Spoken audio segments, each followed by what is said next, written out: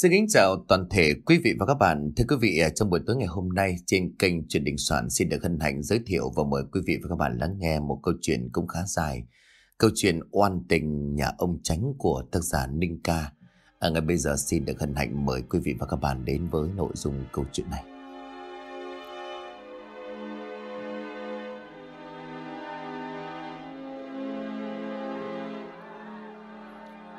Trời mới tờ mờ sáng, những tiếng là hét thê thảm cùng những âm thanh chát chúa không ngừng vang lên trong cái chấn nhỏ vốn yên bình. Mau giết hết lũ người cấu kết phản tặc này cho ta. Một gã to béo với cái đầu trọc nóc đang đưa bàn tay bóp chặt cổ của một cô gái trẻ, khiến cô hai mắt trợn tròn há hốc miệng, đang không ngừng dãy rủa. Sau mấy nhịp co giật, thân thể cô gái mềm nhũn đổ ẩm xuống đất. Một đám lính lệ theo mệnh lệnh của gã đầu trọc liền vung gậy vung giáo, chém tới tấp về phía trước. Mấy bóng người già trẻ gái trai lần lượt bị mũi giáo sắc nhọn, xuyên thủng, máu mè vương vãi khắp nơi. Đi trường, con chạy đi, mau chạy đi. Một người phụ nữ trung tuổi vừa lao ra hướng tròn mũi giáo của một tên lính lệ, bà không ngừng gào thét. Bảo Nguyệt, không! Người đàn ông tức giận hai mắt đỏ hoe vùng rào lao tới, một tiếng xoèn vang lên, cánh tay của tên lính đệ bị chấm đứt lìa, máu mè bắn thành từng tia. Bà kia, hãy cố lên, tôi sẽ đưa bà đi. Người đàn ông đang ôm chặt người phụ nữ tên Nguyện vào trong lòng, những giọt nước mắt bắt đầu chảy. Bà Nguyện nhìn ông mỉm cười. Ông Lý, tôi không được rồi. Kiếp này, có được một người chồng như ông, thương Nguyệt tôi không hối tiếc. Hãy giúp tôi bảo vệ con trai. Lời nói còn chưa dứt bà Nguyện gục xuống, hai tay buông thõng. Ông Lý thở ra một hơi nặng nhọc toàn thân run rẩy, sau đó quay qua một phía rồi hét lớn. Huyền Vũ, hãy đưa Lý Trương đi, ở đây để ta ngăn cản. Phía xa một cô gái xinh đẹp chỉ chừng 20 tuổi, đang sử dụng cổ võ nhanh nhẹn, đánh ngã mấy tên lính. Nghe thấy ông Lý lên tiếng vội đáp. Ông Lý, không có được đâu, bọn chúng đông lắm ở đây rất nguy hiểm. Cô định cãi lời ta sao, mau đi. Thấy thái độ cương nghị của ông, Huyền Vũ hai mắt đỏ hoe vội chạy phía. Vội chạy lại phía mấy người đang bảo vệ cậu Lý Trương. Mấy người lên giúp ông Lý, cậu Trương cứ để cho ta. Đám linh lệ thấy huyền Vũ định bỏ trốn thì đồng loạt lao lên ngăn cản. Số lượng quân lính quá đông năm sáu người đang bảo vệ cậu Trương lên bị đánh hạ. Thế tình thế nguy cấp, huyền Vũ đẩy cậu Trương về phía sau rồi lao ra ngăn cản. Những đường quyền mạnh mẽ kết hợp với động tác nhanh nhẹn. Huyền Vũ liên tục gạ hơn chục tên lính. Một tiếng bùm vang lên, các đàn ông to béo không biết từ đâu bất ngờ lao ra. Dùng bàn tay to chà bá đánh mạnh vào người, làm huyền vũ ngã nhào trên mặt đất. Còn chưa kịp ngồi dậy gã to béo đã ưỡn cái bụng to như cái thúng tiếp tục lao đến. Một tiếng bùm vang lên, ông Lý vừa kịp lao tới húc ngã gã to béo, sau đó vùng dậy ôm chặt lấy gã miệng hét lớn. Mau đi đi, cô phải nhớ kỹ những gì mà ta đã dặn. Huyền Vũ không căm lòng nhưng vẫn cố gật đầu nhắm mắt chạy đi. Những tiếng bùa bùm chất chú vang lên. Cá tàu béo liên tục dùng khuỷu tay thúc vào lưng của ông Lý, khiến toàn thân ông run rẩy. Quỳ thụp xuống mặt đất máu mũi máu miệng đang không ngừng trào ra. Là một tiếng bùm vang lên, gã tàu béo nhặt lên mỏm đá hùng hãn đập liên tiếp xuống đầu của ông Lý. Một dòng máu đỏ chót bắn ra ngoài, kèm theo đó là những mảng áo trắng chảy qua khe sọ. Không, cha! Cảnh tượng hái hùng trước mắt như xoáy sâu vào tâm trí, khiến cho Lý Trương, một thanh niên ngờ nghệch hơn 20 năm chưa một lần biết gọi tiếng cha, hôm nay phải tuôn rơi hai dòng lệ. Huyền Vũ thấy Lý Trương xúc động không chịu thì vung tay đánh ngất cậu rồi xốc lên vai lao ra ngoài. Lão đầu chọc ông làm tốt lắm. Bên trong nhà có bốn người vừa bước ra, vừa lên tiếng là một cậu thanh niên còn khá trẻ, chỉ chừng hơn 20, Bên cạnh gã còn có một người trung tuổi cùng với hai lão già. Cả tàu béo thấy được khen thì vui vẻ, vút cái đầu chọc của mình cười khoái chí. Trình thiếu gia đã để người chê cười rồi. Trình Hoàng là con trai độc nhất của quan tri huyện Trịnh Khải, chính là ông già mặc bộ quần áo sang trọng đứng cạnh gã. Còn lão già kia là Mạnh Thổn, một thầy trừ tà đứng sau Trình Hoàng để giúp sức. Gã tàu béo với cái đầu chọc lóc cũng chính là học trò của lão già Mạnh thồn. Cái trung niên còn lại là vương đầu, người lầm ra âm mưu vụ oan giá họa, dẫn đến cái chết đầy bi thảm mấy chục mạng người của nhà ông Lý Tầm. Vương đầu, cái ghế tránh tổng này từ nay là của ông. Lựa mà làm cho tốt, đừng để trên chi phủ người ta phát giác ra điều gì. Nếu không cả ông và tôi đều không ai giữ được mạng đâu. Quan tri huyện Trịnh Cải mỉm cười nhăm nhở, rồi sau đó quay sang phía Trịnh Hoàng rồi tiếp lời.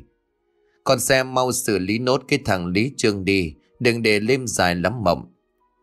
Dạ cha cứ yên tâm, cái thằng đó ngờ ngày có biết gì đâu. Còn cái con bé người hầu kia, một mình nó chẳng làm được gì. Con sẽ cho người xử lý bọn chúng sớm thôi. Trịnh Khải gật đầu sau đó thì thở dài. Cái cuốn sổ ghi lại tội trạng tham ô của chúng ta con vẫn chưa tìm thấy sao. Dạ cha, tên họ lý này không biết đã giấu đi đâu con vẫn chưa tìm được. Con bảo mọi người lật tung cái phủ này lên cũng phải tìm cho bằng được. Nếu lỡ nó lọt ra ngoài rơi vào tay chi phủ thì âm mưu lần này coi như đổ bể. Cha yên tâm con biết rồi. Nơi đoạn Trịnh Hoàng quay qua phía đám lính lệ thì thầm điều gì rồi cùng mấy người trở về phủ. Đám người chi huyền vừa rút hết thì tiếng bàn tán của thôn dân bắt đầu xì xào. Đúng là lũ độc ác. Nhà ông Lý Tổng bao năm nay ăn ở hiền lành, tại sao lại ra nông nỗi này chứ? Khổ quá mất thôi. Mấy chục mạng người từ chủ đến tớ đều không có chữa một ai. Tôi nghĩ là ông ấy bị người ta vu oan giáo hỏa, chứ hiền đức như vậy.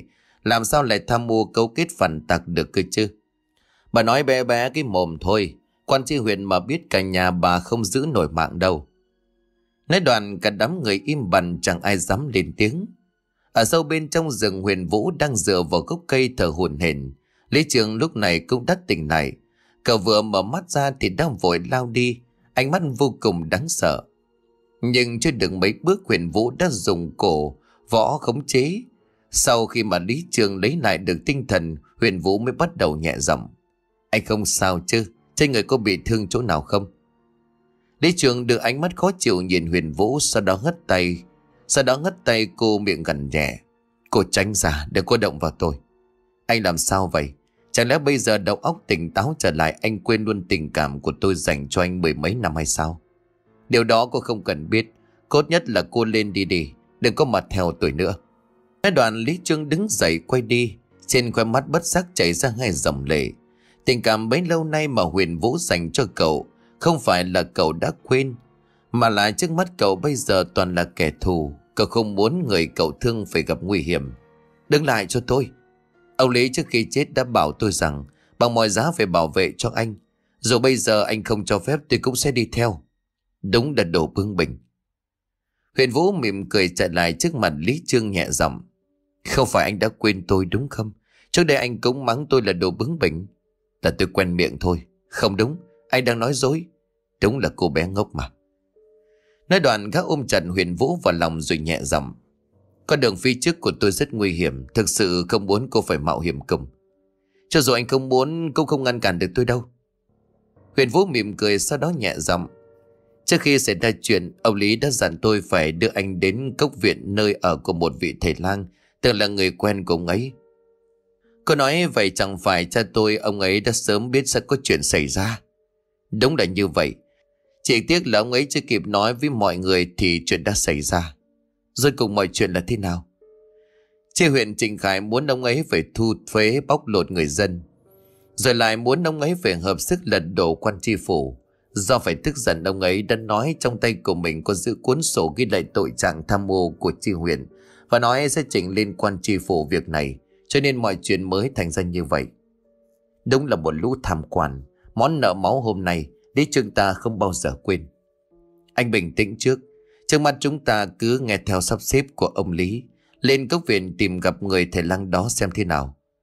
Vậy còn thân xác của cha mẹ tôi thì sao? Tôi phải quay lại đó đưa họ đi. Anh yên tâm đi, Người dân trong trấn chắc chắn sẽ đứng ra lo cho họ. Chị huyện đạt được mục đích rồi Lão ta sẽ chẳng muốn dây dưa. Bây giờ anh quay lại chắc chắn sẽ rơi vào tay của bọn họ. Như vậy công sức cố gắng của cha mẹ anh chẳng phải công cấp. Lý Trương thở dài như quyết tâm điều gì đó, sau đó cùng huyền vũ men theo con đường rừng để sang bên trấn lục kỳ. Thực huyện trùng thiên nơi ở của vị thầy lang mà huyền vũ đã nhắc tới. Vừa tiến vào bên trong rừng không lâu, hai người phải xây sầm mặt mày bởi nơi đây đang có một thứ mùi hôi thối vô cùng khủng khiếp phát ra. Khiếp quá mất thôi, cái thứ gì không biết. Huyền Vũ bịt mũi thỉnh thoảng lại ở lên như sắp muốn nôn. Lý Trương thì bình tĩnh hơn gã đang vảnh tay lên nghe như là muốn nghe ngóng thứ gì đó. Cậu có nghe thấy gì không? Huyền Vũ nhíu mày ở xung quanh những tiếng o o như tiếng của ruồi nhặng cứ văng văng, không biết rõ nó phát ra từ đâu. Cậu cố gắng đưa tay lên lắng nghe, dạo bước chân vào sâu hơn bên trong, bất ngờ có một cảnh tượng khủng khiếp hiện ra, khiến Huyền Vũ vừa sợ hãi ngã nhào ra đất, liên tục lùi lại miệng lắp bắp. Lý Trương, ở kia có người chết. Lý Trương nghe gọi thì hớt hải chạy lại, nhìn theo hướng tay chỉ của Huyền Vũ, bất giác toàn thân của gã tê dại hai mắt trợn tròn. Ở phía trước mặt trong tầm mắt của cả hai người đang có ba cái xác chết, một nam một nữ độ ngoài 30 và một bé trai chừng 6 tuổi. Tất cả ba cái xác quần áo đều rách nát rồi nhằng đang bu đầy. Khuôn mặt dòi bò đục khoét không còn nhận dạng được. Hai con mắt đã thối nhuỗng, chỉ còn lại cái hốc mắt đen thâm thẳm toàn dịch nhảy. Anh còn đứng đó làm gì chứ mau đi thôi, tôi sắp không chịu nổi nữa. Huyền Vũ mặt mày tái xanh vội lên tiếng thúc giục Lý Trương, nhưng anh ta vẫn đứng đó không nói một lời nào. Khẽ dùng mình một cái huyền Vũ run rẩy đưa ánh mắt nhìn ra xung quanh. Những cái suy nghĩ linh tinh bắt đầu chạy quanh trong đầu, khiến cô nhất thời ngẩn ngơ. Này, cô bị sao vậy? Trời đất ơi anh làm cái gì đấy? Nhẽ thì tôi vỡ tim mà chết. Cô tự nhiên đờ ra như mai nhập đó, lại còn đổi cho tôi. Huyền Vũ lúc này gãi đầu ngượng ngùng, Ừ là tôi, thế anh đã đi được chưa? Lý Trương đưa ánh mắt nhìn qua bà sắc chết rồi nhẹ giọng. Không gặp được thì thôi, đã gặp rồi thì phải làm cho người ta một chỗ yên nghỉ. Giúp người cũng là giúp chính mình. Trời đất ơi, anh nói cái quái gì vậy? Thôi tôi xin anh. Thành cứ điên khùng khéo tôi còn đỡ khổ. Tự nhiên bây giờ lại lôi đạo lý ra không khác gì ông cụ cả. Cô cứ ra kia ngồi chờ tôi, khi nào xong chúng ta sẽ đi. Nói đoàn Lý Trương tìm kiếm quanh đó một lát, phát hiện ra có một chỗ đất khá là trũng, ngay gần bà xác chết. Cả nhà lấy một cây đào xuống chỗ đó, rồi lấy tay bốc đất lên. Vì ở bên trong rừng đất khá là ẩm, cho nên là phần đất đào cũng mềm hơn. Chả biết thời gian trôi qua bao lâu, cái hố sâu chỉ chừng 40 mét, nhưng mà được đào khá rộng đã thành hình. Lý Trương mệt mỏi ngồi bệt dựa vào gốc cây thở hồn hển. Tôi đúng là nể anh thật đó đây Một người điên điên khùng khùng sau khi tỉnh táo trở lại đã trở thành một người nhân đức như vậy. Cô thôi đi, giúp tôi đưa họ xuống hố đi. Anh nói sao chứ, chị nhìn không tôi đã sắp không chịu đựng nổi rồi đây. Nói đoàn huyện Vũ đưa tay lên bịt miệng của mình vội chạy đi. Tất cả những gì còn sót lại trong bụng của cô, bây giờ cô đều cho ra bằng sạch. Sau đó thì mệt mỏi Ngồi xuống đưa ánh mắt nàn học nhìn Lý Trương. Khẽ lắc đầu Lý Trương đứng dậy tiến về cái xác dọn dẹp mấy cái cây chắn đường để tiện di chuyển. Bất ngờ một cơn gió lạnh buốt thổi qua và thẳng vào người, khiến cho Lý Trương lảo đảo run lên cầm cập. Sau một giây định thần Lý Trương chấp hai tay lầm nhầm một điều gì đó. Ngay lập tức một cơn gió thổi tới. Cái cảm giác lạnh lẽo cũng đã biến mất. Khẽ mỉm cười Lý Trương lấy xuống một cành cây khua xung quanh bằng cái xác. Đám ruồi nhặng thích đồng thì nhau nhau bay ra như là ong vỡ tổ. Khiến cho Lý Trương xây sầm cầm mặt mày. Đám ruồi bò bu thành từng đàn bị Lý Trương lấy cây gạt ra, để lại hàng trăm cái lỗ thủng bầy nhảy trên khuôn mặt của xác chết, nhìn vô cùng kinh dị. Lý Trương cởi quần áo ngoài của mình cuốn chặt vào tay, sau đó cúi xuống, cầm lấy vào tay xác chết của người đàn ông và kéo đi. Một tiếng bùm vang lên Lý Trương tụt tay mất đà ngã nhào xuống nền đất. Trên tay còn cầm theo một đống thịt bầy nhầy toàn dòi bò Do xác chết đã bị thối giữa Cho nên khi vừa kéo đi thịt đã vỡ ra Lộ ra cả xương trắng héo Lý Trương phải một phèn tái mặt. Khẽ thở hắt ra một hơi lấy lại bình tĩnh Lý Trương lúc này đứng dậy tiếp tục kéo xác đi Lần này gã nắm chặt hẳn vào xương cho nên dễ dàng có thể kéo đi được Từng con giỏi đang lúc nhúc rời ra theo từng bước di chuyển, những màng thịt thối nhảy nhụa vỡ xa, nằm dài rác trên đoạn đường mà Lý Trương vừa kéo qua. Chả mấy chốc mà ba cái xác đã được Lý Trương kéo xuống nằm yên vị trí ở cái hố vừa đào. Những mảnh thịt vụn cũng được Lý Trương quay lại bốc sạch sẽ. Đang chuẩn bị lấp đất thì ánh mắt Lý Trương vô tình quét qua xác của cậu bé. Trên ngực của cậu quần áo tả tơi, Để lộ ra một sợi dây chuyền mặt vật rất đẹp Nó đang phát ra một thứ ánh sáng thật là kỳ ảo Khe lắc đầu gạt đi những suy nghĩ linh tinh, Lý Trương lúc này cúi xuống, Bắt đầu dùng tay lấp đất Phải mất thêm một lúc khá lâu Cây hố mới được lấp lại một cách hoàn chỉnh Lý Trường cắm xuống một cây cây lớn lên để đánh dấu, Sau đó thì miệng lẩm bẩm, Mọi người yên nghỉ đi. Xin thứ lỗi vì ta chỉ có thể giúp được đến như vậy. Nếu có sống sót ta nhất định sẽ quay lại đây Xây cho mọi người một nơi yên nghỉ tốt hơn. Nói đoạn, lúc này Lý Trương quay sang chỗ của huyền Vũ. Nhìn thấy cô đang ngủ ngon lành, Lý Trương lúc này liền tùm tìm cười. Bởi lúc này thì cái mò của cô đang chu lên, Rồi kêu mấy tiếng khò khò. Đang mải ngắm nhìn thì gã phải giật mình Bởi huyền Vũ vừa bất ngờ đứng dậy Này, sao anh nhìn tôi gì mà ghê vậy Định có ý đồ gì phải không hả À không có gì, chúng ta đi thôi Thật thật không có gì không Huyền Vũ được ánh mắt tròn xoe nhìn sang chằm chằm vào Lý Trương, khiến cho anh ngượng đỏ mặt. Phụ nữ các cô đúng thật là đa nghi mà. Đã bảo không có gì rồi mà. Đi mau đi, kẻo chết đói cả trong rừng đó. Nói đoạn cả hai người vội vã rời đi mà không hay biết được rằng phía ngôi mộ vừa rồi đang có một cặp thân ảnh trẻ con quần áo rách nát lờ mờ hiện ra.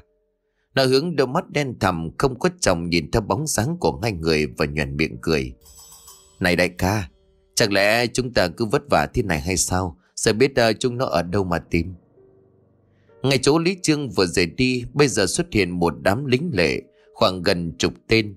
Trên tay còn đem theo đủ loại vũ khí. Bọn chúng thằng nào thằng nấy nhìn rất là hung bạo. Các dâu sồm có vẻ như là lớn tuổi nhất trong đám. Nghe thấy một tên lính nói như vậy thì gần giọng. Thì chúng mày muốn chết đói cả lũ sao à? Làm cái nghề thổ phỉ trộm cắp như chúng ta được Trịnh Hoàng thiếu gia để mắt đây là phúc bà đời rồi đó. Đám lính lệ nghe đại ca nói như vậy thì không có lý, cho nên liền im bặt, đưa ánh mắt tìm kiếm ra xung quanh. Các dâu sồm vừa lên tiếng chính là trưởng gù đại ca của nhóm thổ phỉ tứ phương. Trong một lần hành sự gặp nạn đã được trình Hoàng ra tay giúp đỡ. Kể từ đó mà làm chân lính lệ chuyên đi bóc lột dân chúng và làm những việc bí hiểm phục vụ cho mưu đồ đen tối của nhà họ Trịnh. Đại ca, đại ca có thấy chỗ này quen không? Một tên đàn em đang quan sát lên tiếng tò mò. trường gù nghe vậy thì đánh ánh mắt ra xung quanh rồi gã gần gù. Chỗ này hình như là chỗ chúng ta cướp của cái gia đình nhà có ba người đó có phải không? Đúng rồi đại ca, và đến đây em thấy ươn ớn. Còn mẹ nó nhắc đến tao lại cay. Mấy hôm đấy bị vong hồn của nhà này hành muốn đái cả ra quần, cũng may gặp được trịnh thiếu giả.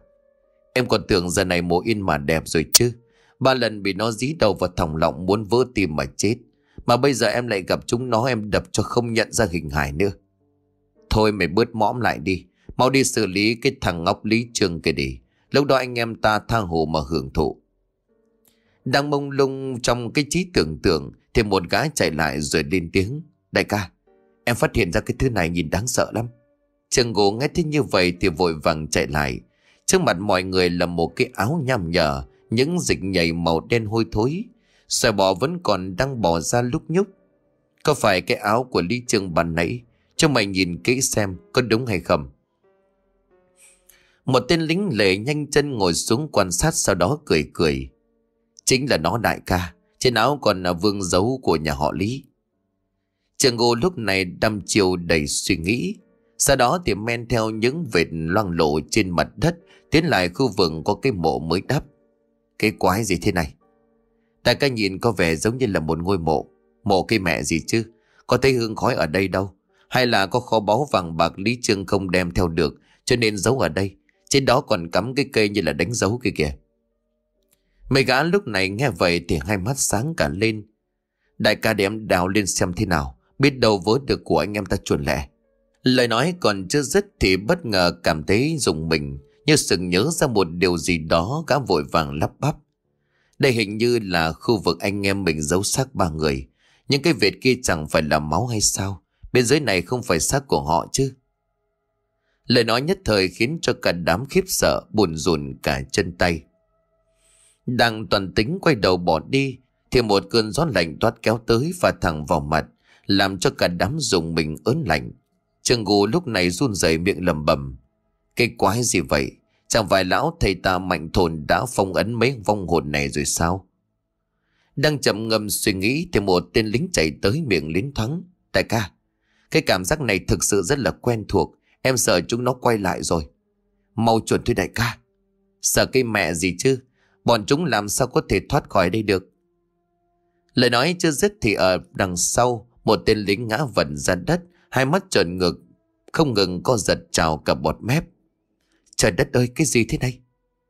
Sau vài giây thì tên lính lệ lúc này vùng dậy, toàn thân của gã giặt dẻo, rúng gió. Cái đầu nghèo hẳn có một bên như bị quỷ nhập. Nhưng các bước di chuyển lại vô cùng nhanh nhẹn.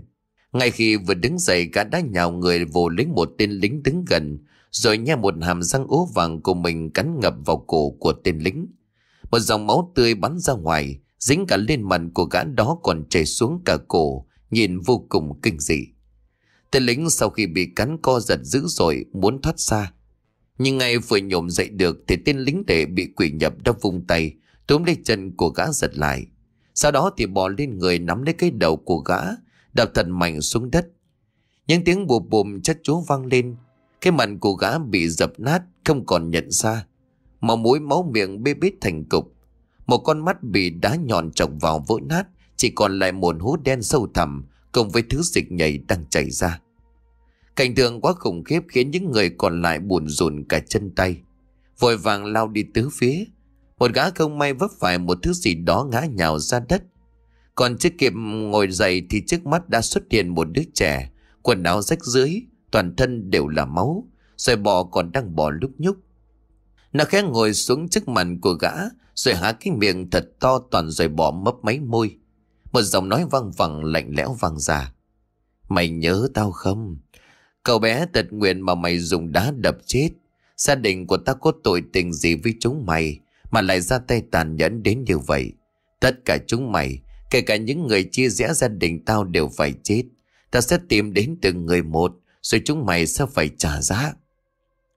Lời nói vừa dứt thì một tảng đá xù xì to như cái bát từ đâu bay đến đập thẳng vào đầu của tên lính. Một dòng máu tươi bắn ra bên ngoài, kèm theo đó là thứ chất dịch óc đang chảy ra.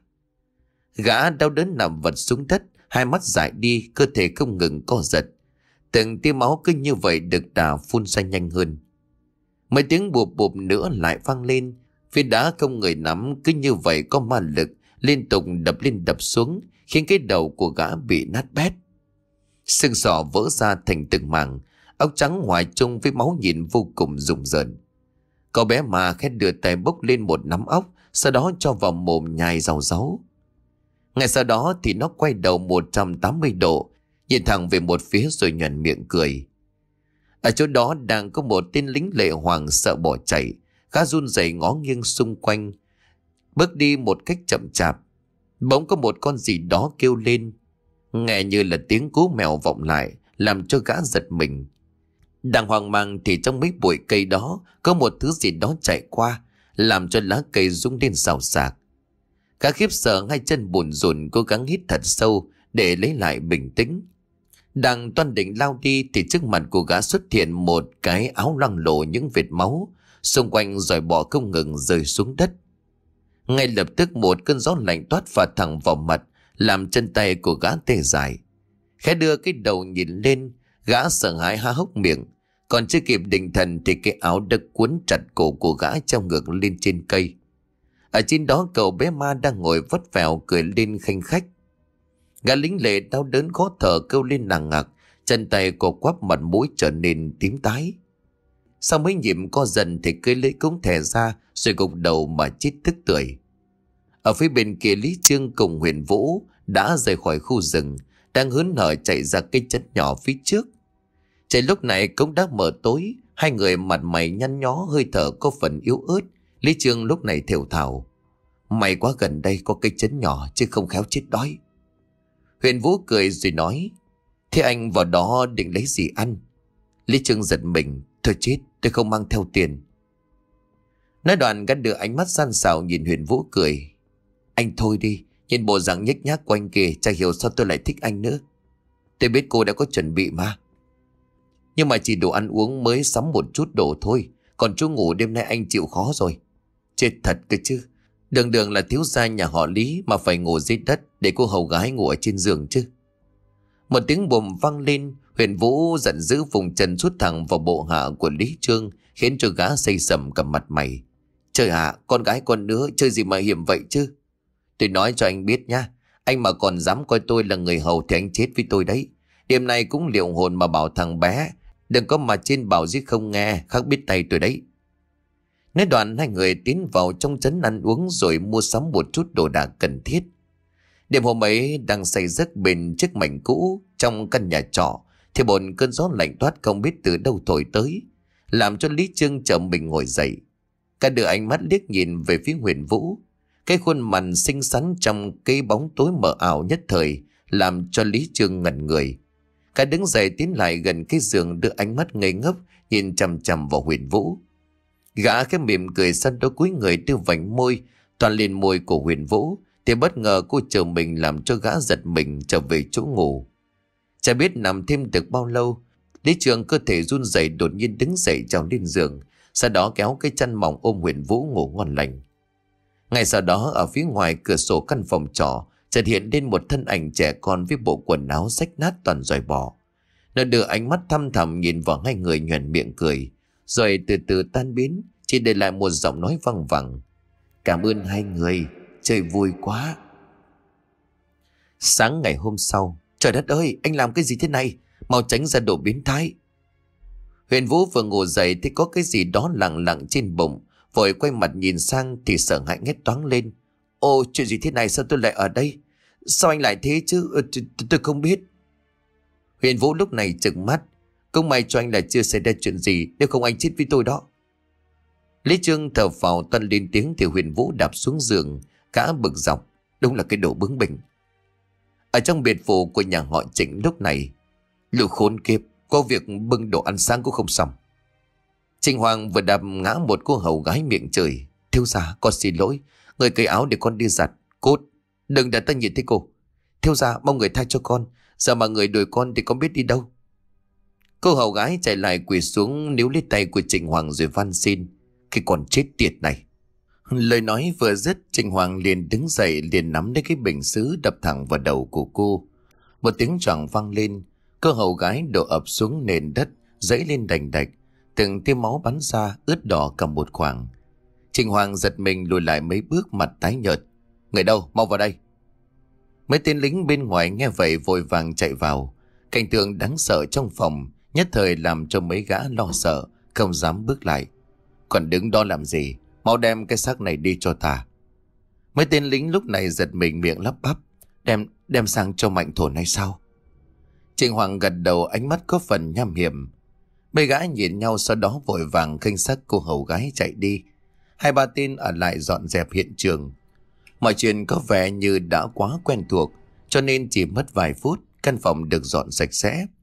Trịnh Hoàng cười gầy sau đó ngồi xuống thưởng thức ấm trà nóng hổi.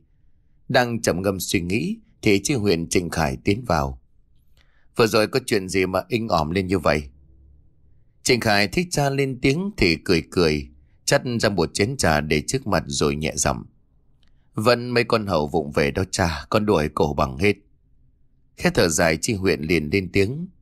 Còn đó, dạo này ta thấy thiếu vắng hơi nhiều hầu nữ đó. Trình Hoàng cười khề không đáp, chi huyện lại tiếp lời. Con đã tìm thấy hai người đó chưa? Để lâu là không có ổn đâu.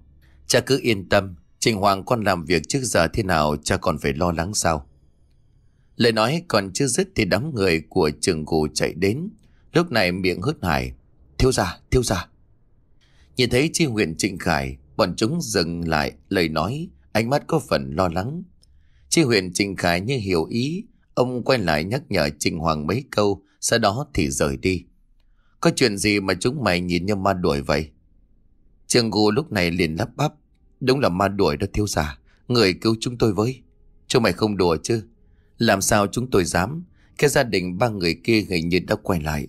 Bọn chúng giết chết mấy người của chúng ta rồi. Trương Hoàng đánh ánh mắt hoài nghi, sau đó ra hiệu cho đám người đi theo mình. Tiến ra khu vườn sau nơi có một biệt phủ dành riêng cho hai người mạnh thồn, cùng gã đầu chọc. Lúc này ở bên trong một căn phòng nhỏ, Mạnh thổn đang ngắm nghía cái xác của cô hầu gái lúc nãy. Đã trần như nhầm. Sau đó lão ta lấy con dao sắc lẹm. Cứ một đường từ vùng bụng rồi ấn xuống. Một tiếng xoẹt vang lên. Máu tươi bắt đầu chảy ra ngoài. Sau đó các đầu chồng bê đến cái chậu, chút hết máu bên trong khoang bụng ra ngoài. Rồi ngồi xuống cái thớt cầm lên con dao mổ trâu chờ đợi. Lão mạnh thổn lúc này bắt đầu đưa tay luồn vào trong bụng.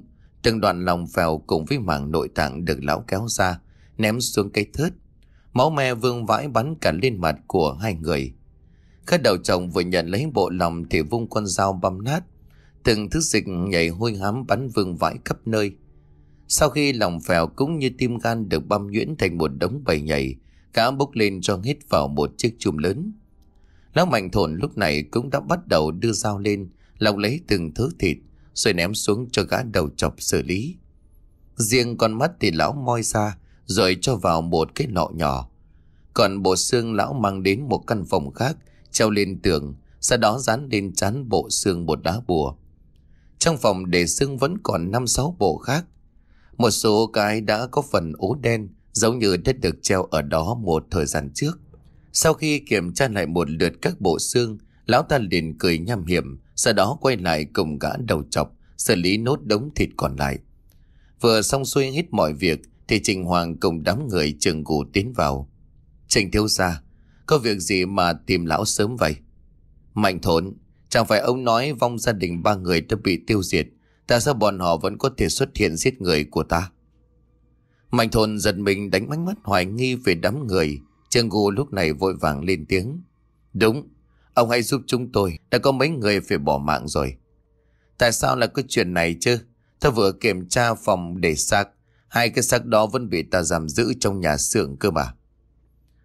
Trầm ngâm một lát lão ta lại tiếp. Chẳng lẽ là thằng nhóc đó vẫn có thể trốn thoát? Ông nói vậy là sao? Hôm đó ta đã ra tay tiêu diệt phong hồn của thằng nhóc đó. Chính mắt ta đã thấy nó biến mất Chẳng lẽ trên người của nó có thứ gì bảo vệ linh hồn Lúc đó đúng là ta đã chủ quan. E là bây giờ nó đã hóa quỷ, Giết thêm nhiều người như vậy, Ta sợ rằng rất khó để đối phó. Vậy bây giờ chúng ta phải làm sao? Mấy người cứ yên tâm. Đem theo lá bùa này sẽ không con quỷ nào dám tới gần các người. Nói đoạn đạo lấy ra trong người sau lá bùa đưa cho mấy gã. Trường gù vui vẻ nhận lên lá bùa nhét vào người. Được, Chúng mày tiếp tục công việc của mình đi. Nhớ phải làm cho gọn gàng. Trường ngụ gật đầu sau đó cùng năm gã còn lại rời đi. Bóng dáng của đám người vừa tiến ra ngoài thì Trịnh Hoàng lên tiếng. Đám người bọn họ liệu có sao không? Mạnh thôn lúc này cười cười. Còn tùy vào phúc phận của bọn chúng, Tuy nhiên thiếu gia cũng đừng quá lo ngại. Bọn chúng đã biết quá nhiều chuyện, Trước sau gì chúng ta cũng phải diệt trừ, Chết sớm một chút cũng không sao. Trịnh Hoàng liền chép miệng. Bọn chúng chết hay sống với ta không quan trọng nhưng mà bọn chúng đang giúp ta một việc rất quan trọng. Thiếu gia sao lại mất bình tĩnh như vậy? Chẳng phải người đã nói, Gã chỉ là một tên ngốc. Ta nghĩ bây giờ bọn chúng đã cao chạy xa bay rồi. Trinh Hoàng thở dài, Thấy những lời nói của Mạnh Thổn cũng có ý đúng. Gã ta liền thay đổi sắc mặt. Mấy lọ tương huyết thể ông đã làm xong chưa? Ba lọ đầu tiên đã đủ 10 ngày có thể sử dụng. Chút nữa cậu tìm cách cho đám thôn dân trong bà chấn lần cận sử dụng trước ưu tiên những người trẻ. Uống càng lâu tác dụng khống chế càng tốt. Nếu như có thêm thuốc dẫn chúng ta có thể dần dần khống chế một đội quân lớn mạnh. Lúc đó cậu muốn cả thiên hạ cũng được. Chỉ tiếc khả năng của ta có hạn, không thể điều chế một lúc nhiều buồn ngải như vậy được. Trình Hoàng cười khoái chí. Dầu tốc bất đạt, ông cứ từ từ mà làm đi. Khi nào cần người ta sẽ đem đến cho ông. Lão Mạnh thổn cười nham hiểm, sau đó cùng Trình Hoàng ngắm nghía mấy lọ tương bằng thịt người. Ở bên trong rừng đám người của trường ngủ lúc này đã tiến vào khá sâu. Đang vui vẻ cười đùa thì bất ngờ một cơn gió lạnh toát thổi qua, khiến cả đám dùng mình nổi ra gà. Như cảm nhận được một điều gì đó quen thuộc, mấy gã vội lấy ra lá bùa cầm trên tay, đưa đôi mắt nhìn về bốn phía. Đại ca, có phải nó lại tới không? Mày sợ cái mẹ gì chứ? Có lá bùa của lão mạnh thổn đây. Làm chó gì có con quỷ nào dám tới? Thế tại sao đại ca run vậy chứ? Còn mẹ mày muốn chết hả? Lời nói còn chưa dứt thì tên lính lệ trước mắt đã nhe răng nhuận miệng cười. Một nụ cười vô cùng quỷ dị. Trường gù giật mình khiếp sợ vội lùi lại đằng sau, ném lá bùa lên mặt của tên lính lệ. Nhìn thấy bộ dạng của trường gù, tên lính lệ lại càng cười lớn. Thế lá bùa không có tác dụng, trường gù mặt biến sắc, vội vung chân đạp mạnh lên ngực của tên lính. Khiến cho gã ngã nhào ra đất ôm bụng nằm co quắp. Đại ca, sao lại đánh em? Ôi em đau chết mất. Mày vẫn còn bình thường đi chứ? Đại ca đánh em mạnh như vậy sao bình thường được? Mẹ kiếp, mày cười cái kiểu gì vậy? Cứ như mai nhập vậy. Đại ca, đã không nhớ mồm em bị vẹo bẩm sinh sao? Trương Gỗ vỗ đầu quay đi, nhìn mấy thằng còn lại không nhịn được cười. Còn mẹ nó chứ ám ảnh tao qua làm tao quên mất. Một tiếng bụng bất ngờ vang lên khiến cho cả đám giật mình chú ý. Đưa ánh mắt nhìn về phía bụi rậm trước mặt. Nơi đó có mấy cành lá còn đang đông đưa như có người vừa chạm vào. Hai thằng mày tiến lại đó xem sao, biết đâu kiếm được con thỏ rừng. Hai tên lính nghe vậy khẽ dùng mình, thì nhưng nghĩ con lá bùa hộ thân thì cũng mạnh dạn tiến lên. Đưa mối giáo vào trong bụi rậm rẽ cây ra. Thế nhưng bên trong không hề có thứ gì, hai gã lắc đầu quay lại. Một tiếng bộp nữa vang lên ở một phía khác, cả đám giật mình quay phát về hướng vừa phát ra tiếng động. Nơi đó sau một gốc cây như có người nào đó vừa thập thò, vẫn còn để lộ ra một mảnh áo cùng với vài sợi tóc lởm chởm, chân cô cười khoái chí. Chúng mày lên bắt nó cho tao, dám bày trò dọa ông mày thì chỉ con nước chết. Nói đoạn nằm tên lính cầm giáo tiến lên, vừa nhảy ra toan đâm về phía người lạ mặt, thì cả đám lính sợ hãi ngã nhào ra đất, liên tục bỏ lại phía sau. Trước mặt của họ chính là cây xác của tên lính lệ hôm qua.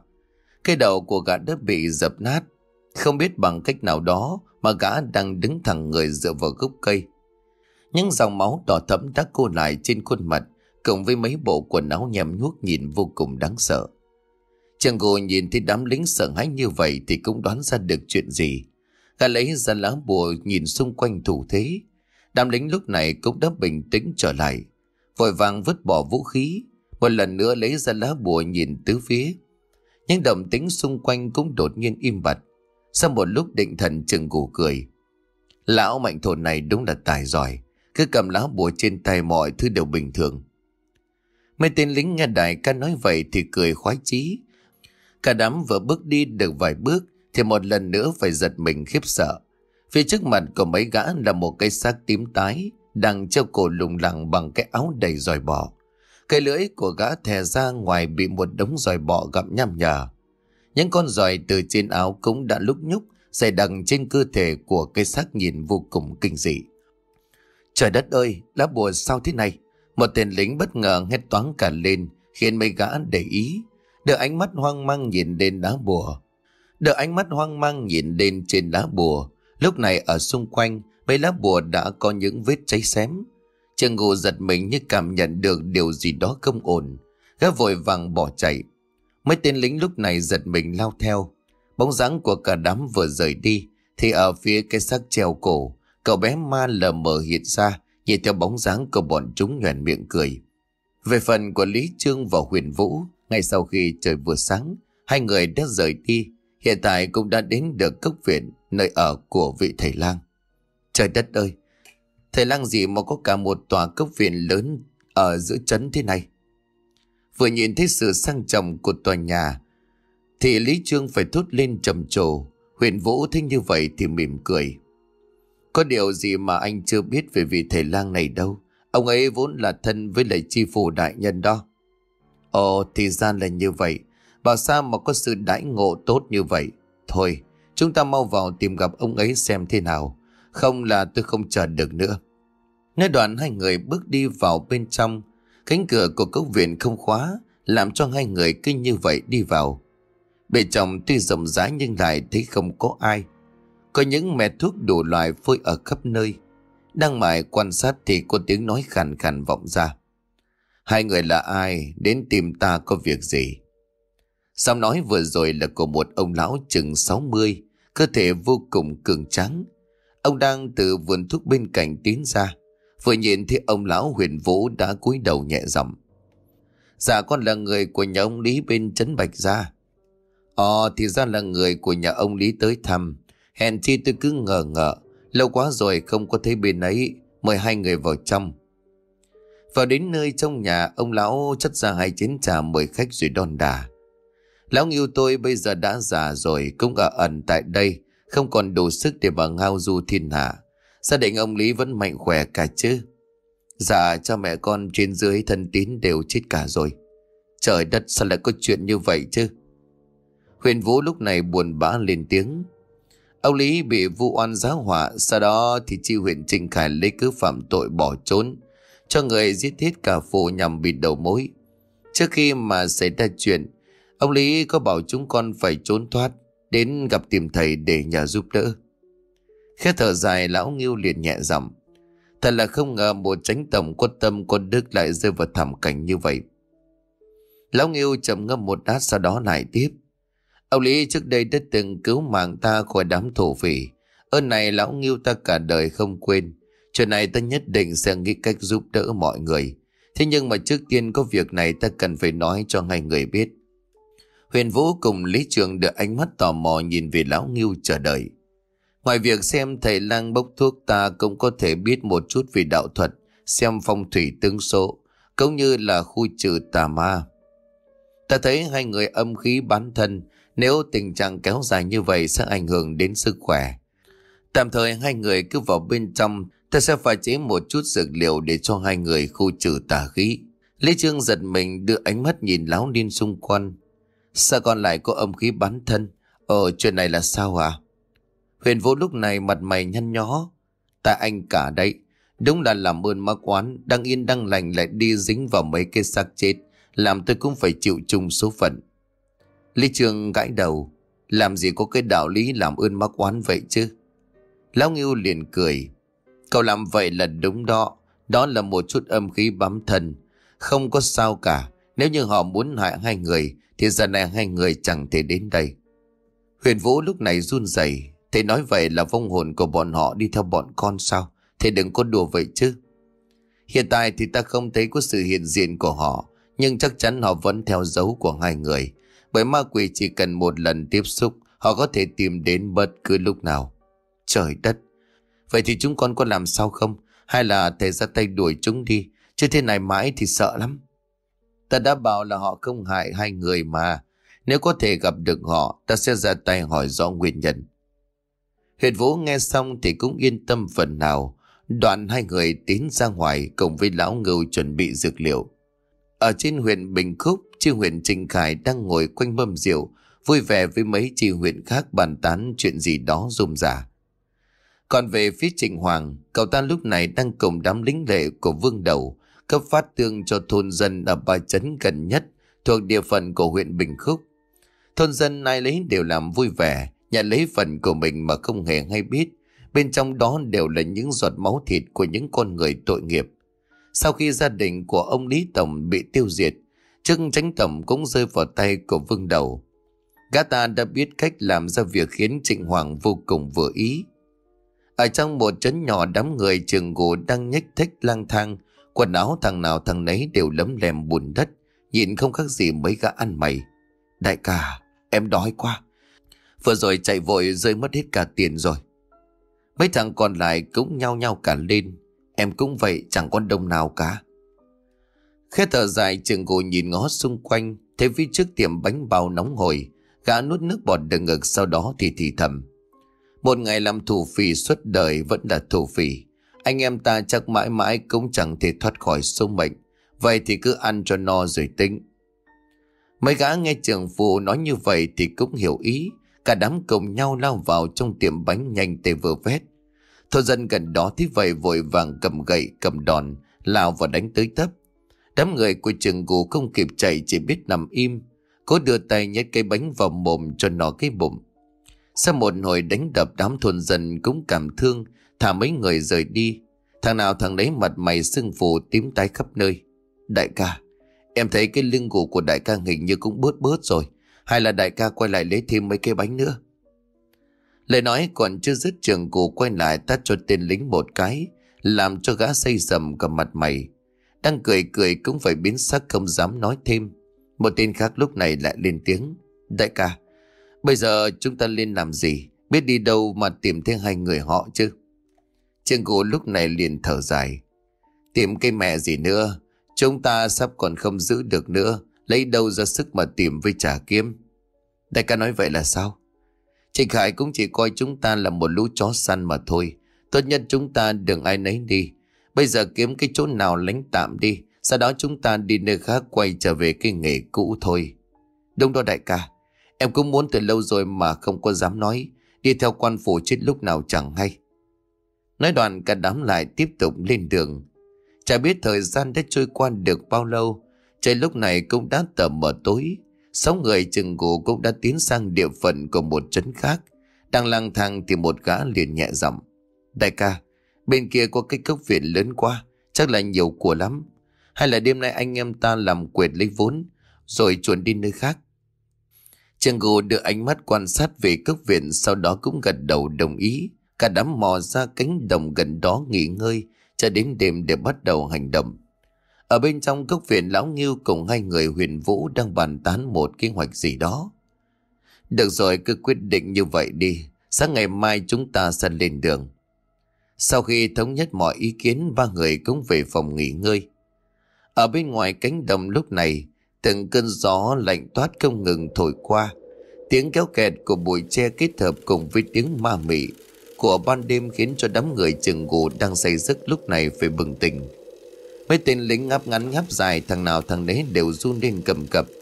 Mẹ kiếp, chúng mày ổn định lại cho tao đi. Cứ thế này thì tao lấy được cái gì chứ? Mấy gã đàn em lúc này nghe xong thì cũng đều chấn tĩnh được đôi phần. Sau đó cả đám cũng bắt đầu vượt tường tiến vào bên trong. Ở một góc nào đó thân ảnh của cậu bé ma lại lờ mờ hiện ra, nhìn theo bóng dáng của cả đám mà nhuền miệng cười. Đám người chừng gù tiến vào bên trong thì cũng sững sờ, bởi ở đây vô cùng rộng lớn, rất nhiều phòng ốc vô cùng sang trọng. Này, cái thằng kia mày đi đâu đấy? Trường gù trầm trồ thì thấy một gã đàn em lò mò đi ra phía khác, các vội vàng lên tiếng truy hỏi. Các đàn em gãi đầu nhằn nhó. Đi kiếm cái ăn đã, đói quá không có chịu được. Con mẹ mày chứ, mày đi ăn trộm mà mày còn tìm đồ ăn thì ta cũng đến chịu mày đây Mấy gã còn lại nghe thấy nhắc đến đồ ăn thì mặt mày nhăn nhó. Em thấy nó nói đúng đấy, anh em mình ngạo oánh chén cho nó say đã, rồi mới có sức vừa vét chứ anh. Trường gồ tức giận dậm chân huỳnh huỳnh nhưng cũng vẫn phải chiều theo số đông. Dãy nhà bếp nằm ngay bên cạnh cốc viện cho nên chỉ cần nhìn qua cũng thấy. Đại ca, đây có nồi cháo to quá, bên trong vẫn còn bốc hơi này. Anh em mình đúng là số hưởng mà. Trường gỗ tiến lại gần quan sát nồi cháo rồi miệng đầm bẩm. Sao lại có nồi cháo ở đây? Hay là cháo chó thì bỏ mẹ? Làm gì có cháo chó nào đâu đại ca? Mà bây giờ này có là cháo chó thì em cũng phải làm bát cho nó ấm bụng. Có thực thì mới vực được đạo chứ. Nói đoạn gắt đàn em lấy xuống cái bát vục luôn một cáo đầy cho vào mồm hút sùn sụt. bê gã còn lại thế vậy thì cũng lấy bát múc lên để húp lấy húp để. Trường ngủ lúc này cái bụng cũng đã sôi lên đồng ngục. Tuy rằng cũng ngắn ngầm lắm. Thế nhưng giờ mà không ăn thì mấy gã đàn em cũng hút bằng hết. Trần trừ dây lát gã cũng thỏ muôi lên múc một bát. Thế nhưng ngay sau đó thì phải khiếp sợ. Bát cháo gã vừa múc lên toàn là thứ thịt vụn bầy nhầy đầy dòi bò. Ở chính giữa bát còn có một con mắt trắng dã, cộng với mấy mảng ốc nổi lềnh bềnh. Ngay khi mà bát cháo vừa rơi xuống, cảnh tượng kinh dị làm cho cả đám đang nhài dở, phải nhẹ hít cả ra ngoài. Những mảnh thịt nát kèm theo máu me dòi bọ liên tục được cả đám nôn ra. Tiếng động quá lớn làm cho cả ba người bên trong nhà tỉnh giấc, điện cũng vụt sáng. Trường gồ nhìn thấy ba người vừa ra thì giật mình toàn bỏ chạy, nhưng nhìn thấy đám đàn em đang nằm co quắp, Cả cũng không dám manh động Mấy người là ai Lão Nghiêu đưa tay ra tạo thành một tư thế mèo vồ chuột miệng quát lớn Huyền Vũ và Lý Trương vừa nhìn thấy đám người thì sôi máu Toàn lao lên thì lão Nghiêu đó đang ngăn lại Bọn chúng đang bị âm khí bám thân, Ảo giác có thể gây nguy hiểm đến chúng ta Hãy cứ bình tĩnh để Trường gỗ nghe thấy những lời nói này của lão Nghiêu Thì hai mắt liền sáng rực lên, Vội bỏ lại phía của ba người rồi van xin Hãy tha cho chúng tôi. Tất cả mọi chuyện là do đám người nhà họ trịnh sai bảo. Chúng tôi thực sự là bất đắc dĩ. Tha cho lũ khốn các ngươi, không bao giờ. Nói đoạn huyền vũ liền vung chân đá thẳng vào mặt của trường gù, khiến cho gã ngã nhào ra đất.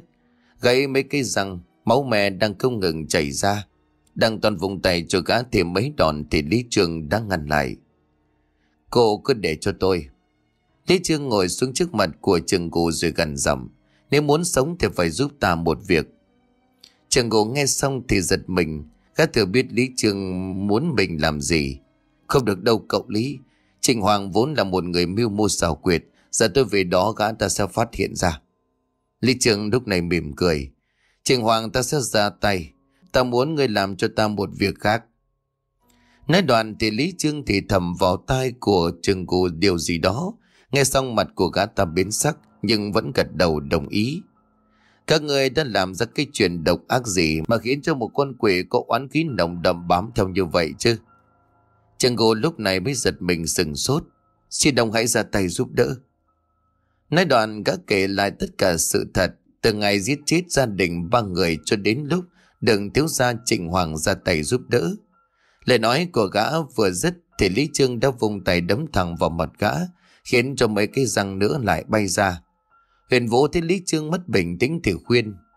Anh hãy bình tĩnh, kẻ thù của chúng ta vẫn còn nhợn như ở ngoài kia, không để việc này làm hỏng đi đại sự.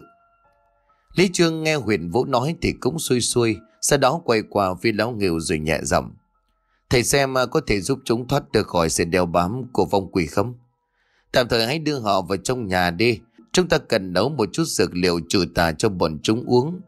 Còn về phần con quỷ ta sẽ nghĩ cách. Sáng ngày hôm sau khi mà đám người trường gỗ đang khỏe lại thì cũng từ biệt mọi người mà rời đi. Trước khi đi lão Nghiêu còn đưa cho bọn họ mấy đá bùa rồi dặn dò điều gì đó. Bóng dáng của đám người vừa khuất vào thì lão Nghiêu cùng với hai người Lý Trương cũng chia nhau đi về hai phía. Lúc này ở bên trong biệt phủ của nhà họ Trịnh, lão già mạnh thổn đang ngồi trước bàn nghi lễ, nghi ngút khói hương. Ở trên bàn còn có một cái thau đồng đựng đầy nước. Xung quanh thau nước được dán chi chít những lá bùa đủ họa hình thù quái dị.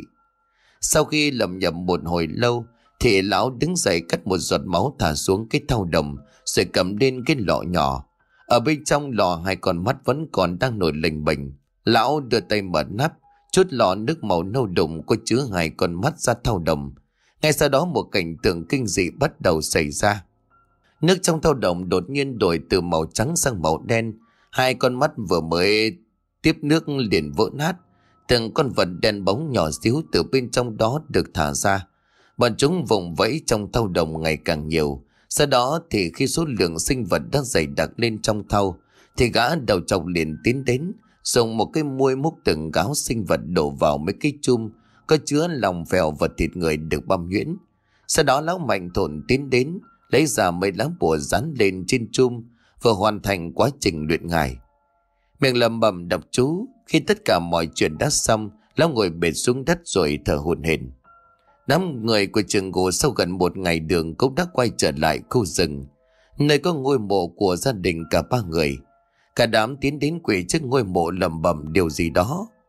Một lúc lâu sau thì đứng dậy rời đi, bỏ lại một ánh mắt vô hồn về phía ngôi mộ, đang dõi theo từng bước đi của họ.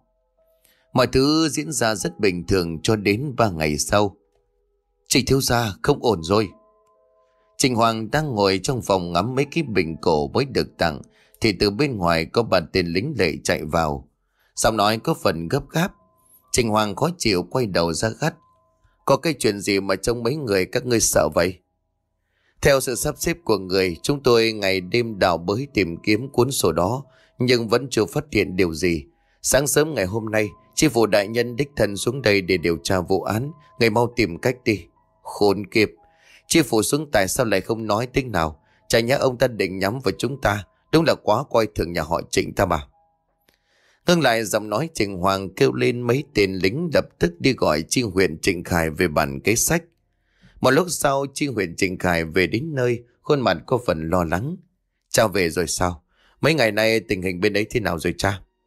Mấy tên chi huyện khốn kiếp đó, bọn chúng chỉ ham tiền, nhắc đến việc giúp chúng ta lật đổ chi phủ bọn chúng lại chối đây đây. Đúng là một lũ nhát gan. Cha xem chúng ta nên làm thế nào. Chi phủ đã đích thân xuống đây, con e ông ta biết được thứ gì đó. Cha đã bảo con rồi, tìm cách cửa lũ người Lý Trương đi con cứ chủ quan. Còn đâu có biết được mọi chuyện lại diễn ra nhanh vậy đâu. Cái lũ người con xe đi cũng không thích tin tức. Chẳng nhẽ bọn chúng đã rơi vào tay của chi phủ. Cái chuyện này e là không ổn rồi. E là kế hoạch của chúng ta cần phải thay đổi. Trình Hoàng hai mắt sáng lên. Ở trên kinh thành cha con ta không thể ra tay với trì phủ. Nhưng mà ở đây chỉ cần xử lý gọn gàng một chút Chẳng phải mọi chuyện êm đẹp sao Ý của con là sao Trình Hoàng mỉm cười nham hiểm không đáp Chi huyền Trình Khải thấy thái độ tự tin của con trai thì hắn nói Được, chuyện này giao cho con Cha cứ yên tâm Nói đoàn gã quay đi một đường tiến ra căn phòng của lão mạnh thồn Chúng ta phải ra tay trước Không có thời gian để chờ đợi Ông hãy đem những lọ tương có thể sử dụng ra đây Ta sẽ cấp phát cho đám thôn dân tiếp theo Ngày mai sau khi mọi người sử dụng phiền ông ra tay giúp. Tại sao lại gấp như vậy chứ? Ta vừa mới luyện thêm được một đợt ngày chung. Không kịp nữa đâu. Chi phủ đã cho người xuống tận đây điều tra chúng ta. Nếu không nhân cơ hội này trừ khử đi ông ta, chúng ta khó có thể thoát được kiếp nạn lần này. Vậy để ta giúp thiếu ra một tay. Ở trong này ngứa ngay lắm rồi đấy. Nói đoàn gã đầu chồng bê ra hai lọ tương rồi cùng Trình Hoàng với mấy tên lính lệ tiến ra ngoài. Ở trong phủ tránh tổng vương đầu đang say sưa ôm mấy cô hầu gái, thưởng thức khoái lạc, không khác gì một bậc đế vương. Nghe tin Trình Hoàng tới gã vội vàng bật dậy, sắc mặt chợt biến, cảm giác sợ hãi lan tỏa khắp cơ thể. Khi dùng mình một cái gã khoác lên cái áo rồi tiến ra đại sảnh tiếp đón. Trịnh thiếu gia tới rồi sao? Mời người vào bên trong. Trình Hoàng nhíu mày được ánh mắt có nhiều nhìn vương đầu. Phải chăng tao biết ta đến? Vương đầu giật mình mấy giọt mồ hôi tự nhiên lăn dài trên trán. Đâu có chứ chỉ là thói quen. Mời thiếu gia vào nhà. Trình Hoàng cười khẩy. Vương đầu, hôm nay ta thấy thái độ của ông có phần kỳ lạ đó. Ồ, Trịnh thiếu gia đúng là người có khí chất hơn người. Đứng trước mặt vương đầu ta mà vẫn có thể diễn kịch giỏi như vậy chứ. Ý ông là sao? Trịnh Hoàng giật mình ngơ ngác chưa hiểu chuyện gì. Đang hoang mang thì cánh cửa lớn bị mấy tên lính đóng sầm lại. Một đám lính lệ trên tay cầm giáo mác từ trong nhà lao ra bao vây đám người của Trịnh Hoàng. Phương Đậu, như này là ý gì? Gái chọc đầu thấy sự thay đổi như vậy vội lên tiếng. Phương Đầu chừng mắt sau đó lấy ra một cái hộp gỗ, mở ra chút một thứ đổ bên trong, hộp đổ xuống đất. Ngay lập tức cả đám người Trình Hoàng phải khiếp sợ. Xe đất trước mắt của họ có mấy ngón tay ngón chân, thậm chí còn có cả mấy cái tai của con người, máu me vẫn còn dính nhằm nhở. Trình Hoàng lúc này hoảng sợ. Cái gì thế này ông muốn sao? Trình thiếu gia là không biết thật nên là cố tình giả vờ chứ. Ngưng lại giọng nói vương đầu ngồi xuống chỉ tay vào những thứ trên mặt đất rồi gần giọng. Đây đều là chân tay của cha mẹ ta, những người trong gia đình của ta. Tại sao trình thiếu gia ra tay với họ? Chuyện này là sao? Không hề ta làm chuyện này. Giờ chúng ta có hiểm khích Ông đừng quên ông có được cái ghế tránh tổng này do ai Trịnh thiếu gia Ta còn lạ gì tính cách nham hiểm của nhà họ trịnh nữa Cái chức tránh tầm đúng là thiếu gia có gia tay giúp đỡ Nhưng mà công sức của ta bỏ ra không hề nhỏ Vương đầu ta có ơn tất báo có thủ tất trả Ta đang lo không biết thủ này phải tính sao Thì người đã đến tận nhà Khốn kiếp Gã trọng đầu tức giận lao lên vung quyền đánh hạ mấy tên lính Sức mạnh của gã đúng là khủng khiếp. Chỉ mấy đường quyền mà đã có năm sáu tên lính lệ, không thể ngóc đầu đứng dậy. Mấy tên lính mà Trịnh Hoàng mang theo, do số lượng quá ít, cho nên liền bị đám lính của vương đầu hạ gục. Trịnh Hoàng lúc này sợ hãi liên tục lùi lại đằng sau miệng lầm bầm. Vương đầu, ông hãy bình tĩnh. Nghe ta nói chắc chắn chuyện này là có hiểu lầm. Vương đầu cười khẩy không đáp tiến lại túm cổ áo của Trình Hoàng đấm thẳng vào mặt cả. Một ngụm máu bắn ra ngoài. Trình Hoàng đau đớn ánh mắt long lên. Vương đầu đang chuẩn bị ra tay đấm thêm cái nữa. Thì một tiếng phẩm vang lên. Con dao sáng loáng được Trình Hoàng lấy ra bất ngờ đâm mạnh vào bụng Vương đầu, Máu bắt đầu chảy ra. Muốn giết Trịnh Hoàng ta đâu có dễ chứ. Chết đi đồ khốn. Nơi đoạn Trịnh Hoàng khẽ xoay con dao ấn sâu thêm. Vương đầu há hốc mồm máu mũi máu miệng trào ra. Mấy tên lính lệ lúc này mới phát hiện, Toàn vùng rào đầm tới, Thì gã đầu chồng vung quyền đánh hạ cả đám Cậu không sao chứ Ta không sao Rốt cuộc chuyện này là thế nào Kẻ nó đã nhúng tay cản trở chúng ta Lời nói còn chưa dứt thì trong vườn có mấy người bước ra miệng cười. Trình thiếu gia, chúng ta lại gặp lại. Trình Hoàng há hốc miệng ngạc nhiên. Trương Gu, tại sao lại là lũ các người? Đúng, Tất cả đều là bọn ta sắp xếp. Trình thiếu gia quả là nham hiểm. Người biết là mấy lá bùa là mảnh thổn đưa cho chúng ta không có tác dụng. Vậy mà người vẫn để chúng ta đâm đầu vào cái chết. Chuyện này um, người không cần phải giải thích. Kế hoạch của các ngươi vương đầu đã nói cho bọn ta biết cả. Hôm nay Trình thiếu gia đừng hòng rời đi. Trình Hoàng nghe vậy thì cười. Dựa vào mấy gã thổ phỉ các ngươi hả? Đúng là cuồng ngôn. Trình Hoàng, còn bọn ta nữa. Lời nói vừa dứt thì phía sau chừng cổ có ba người bước tới. Không ai khác chính là Lão Nghiêu cộng với hai người huyền vũ. Trình Hoàng khẽ giật mình nhưng ngay sau đó lại cười. Ta đã nghĩ chắc chắn là do các người. Mà nếu đã đông đủ như vậy Trình Hoàng ta càng đỡ nhọc câm. Lời nói của gã vừa dứt đã vùng rào lên chém về phía đám người. Huyền Vũ thấy vậy thì nhanh chân đứng ra ngăn cản. Cứ ngỡ Trịnh Hoàng chỉ là một tin thiếu gia ham chơi.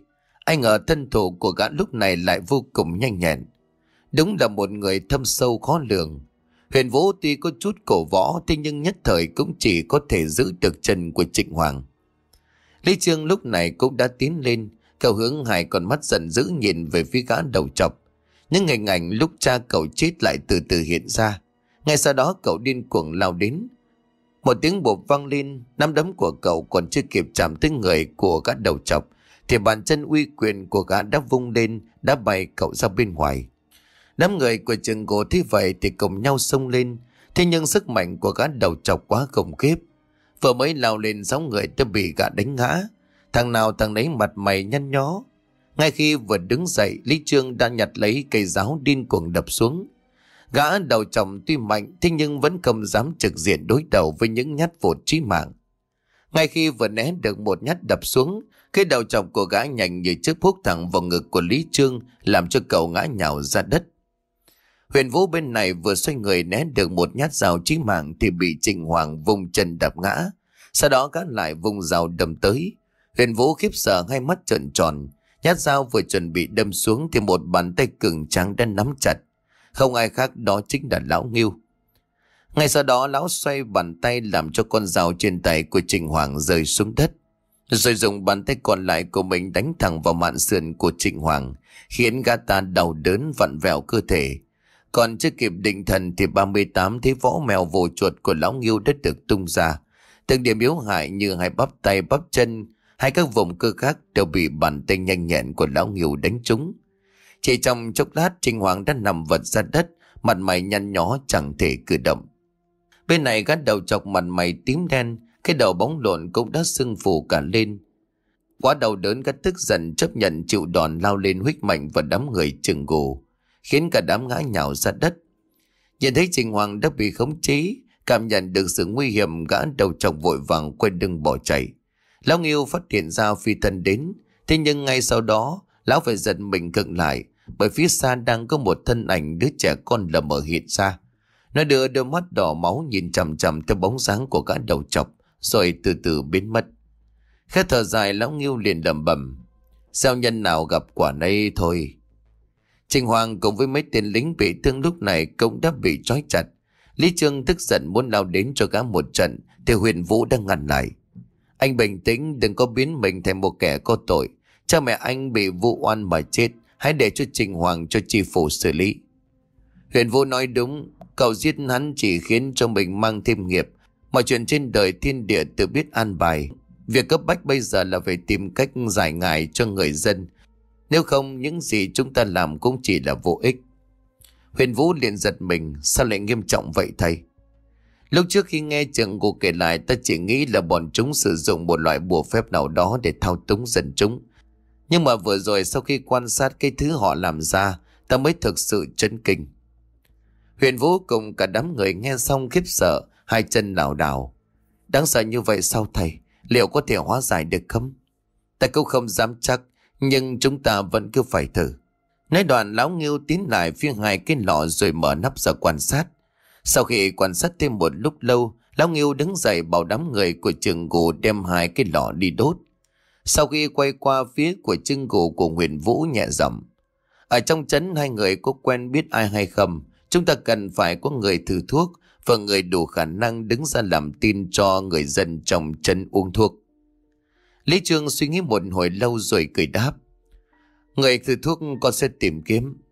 Huyền Vũ cũng nhanh miệng. Phải để con tìm người đứng ra làm tin. Lão Nghiêu chỉ mỉm cười gật đầu sau đó quay qua căn dặn đám người của trường gù mấy điều. Ở bên kia gã chồng sau khi thoát khỏi biệt phủ tránh tầm, liền một đường chạy về phủ chi huyện. Vì đoạn đường khá xa, hơn nữa lại đang bị thương, cho nên sau khi phát hiện không có người đuổi theo, gã tìm đến ven cánh đồng rậm rạp để ẩn nấp nghỉ ngơi một chút. Vừa ngồi xuống, gã đã nhăn nhó mặt mày, bởi nơi đây có một thứ mùi hôi thối kinh khủng. Là vì quá mệt, hơi thở lại gấp gáp, cho nên mấy thứ mùi này sộc thẳng vào cổ họng, làm cho gã phun hết những gì còn sót lại trong bụng. Vừa mới ổn định lại thì một cơn gió lạnh từ đâu thổi đến khiến cho gã rùng mình.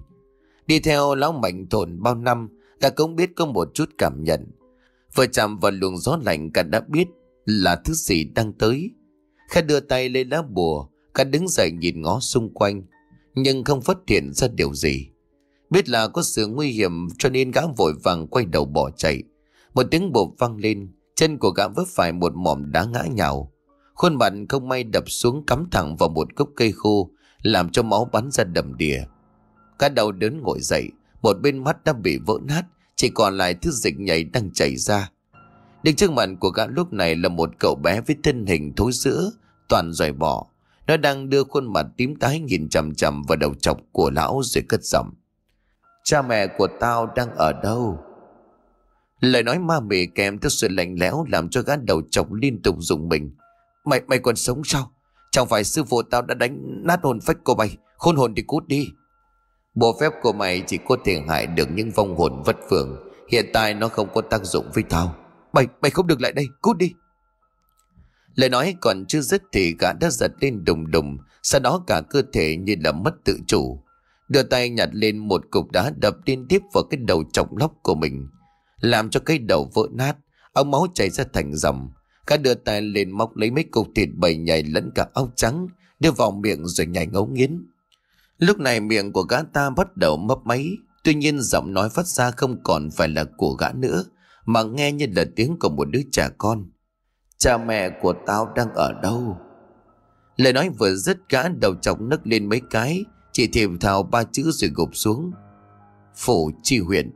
Lúc này bên trong trấn Bạch Sa, ở một túp lều nhỏ trong có một gã thanh niên đang thập thò giấu giếm một thứ gì đó. Sau khi mọi thứ đã ổn gã thở vào đứng dậy, và quay đầu toan đi xa, thì gã giật mình khiếp sợ ngã nhào ra đất miệng lắp bắp. Ôi dồi ôi ma, Lý Trương tha cho tao, tao không cố đi ăn cắp đồ của nhà mày, làm ơn tha cho tao. Lý Trương hơi giật mình nhưng ngay sau đó gã lại cười lên một tiếng trêu chọc. Trả đồ cho tao, trả lại đồ cho tao. Các thanh niên nghe xong thì khiếp sợ vội vàng quay lại góc liều Bế những thứ đồ gì đó ném về phía của Lý Trương.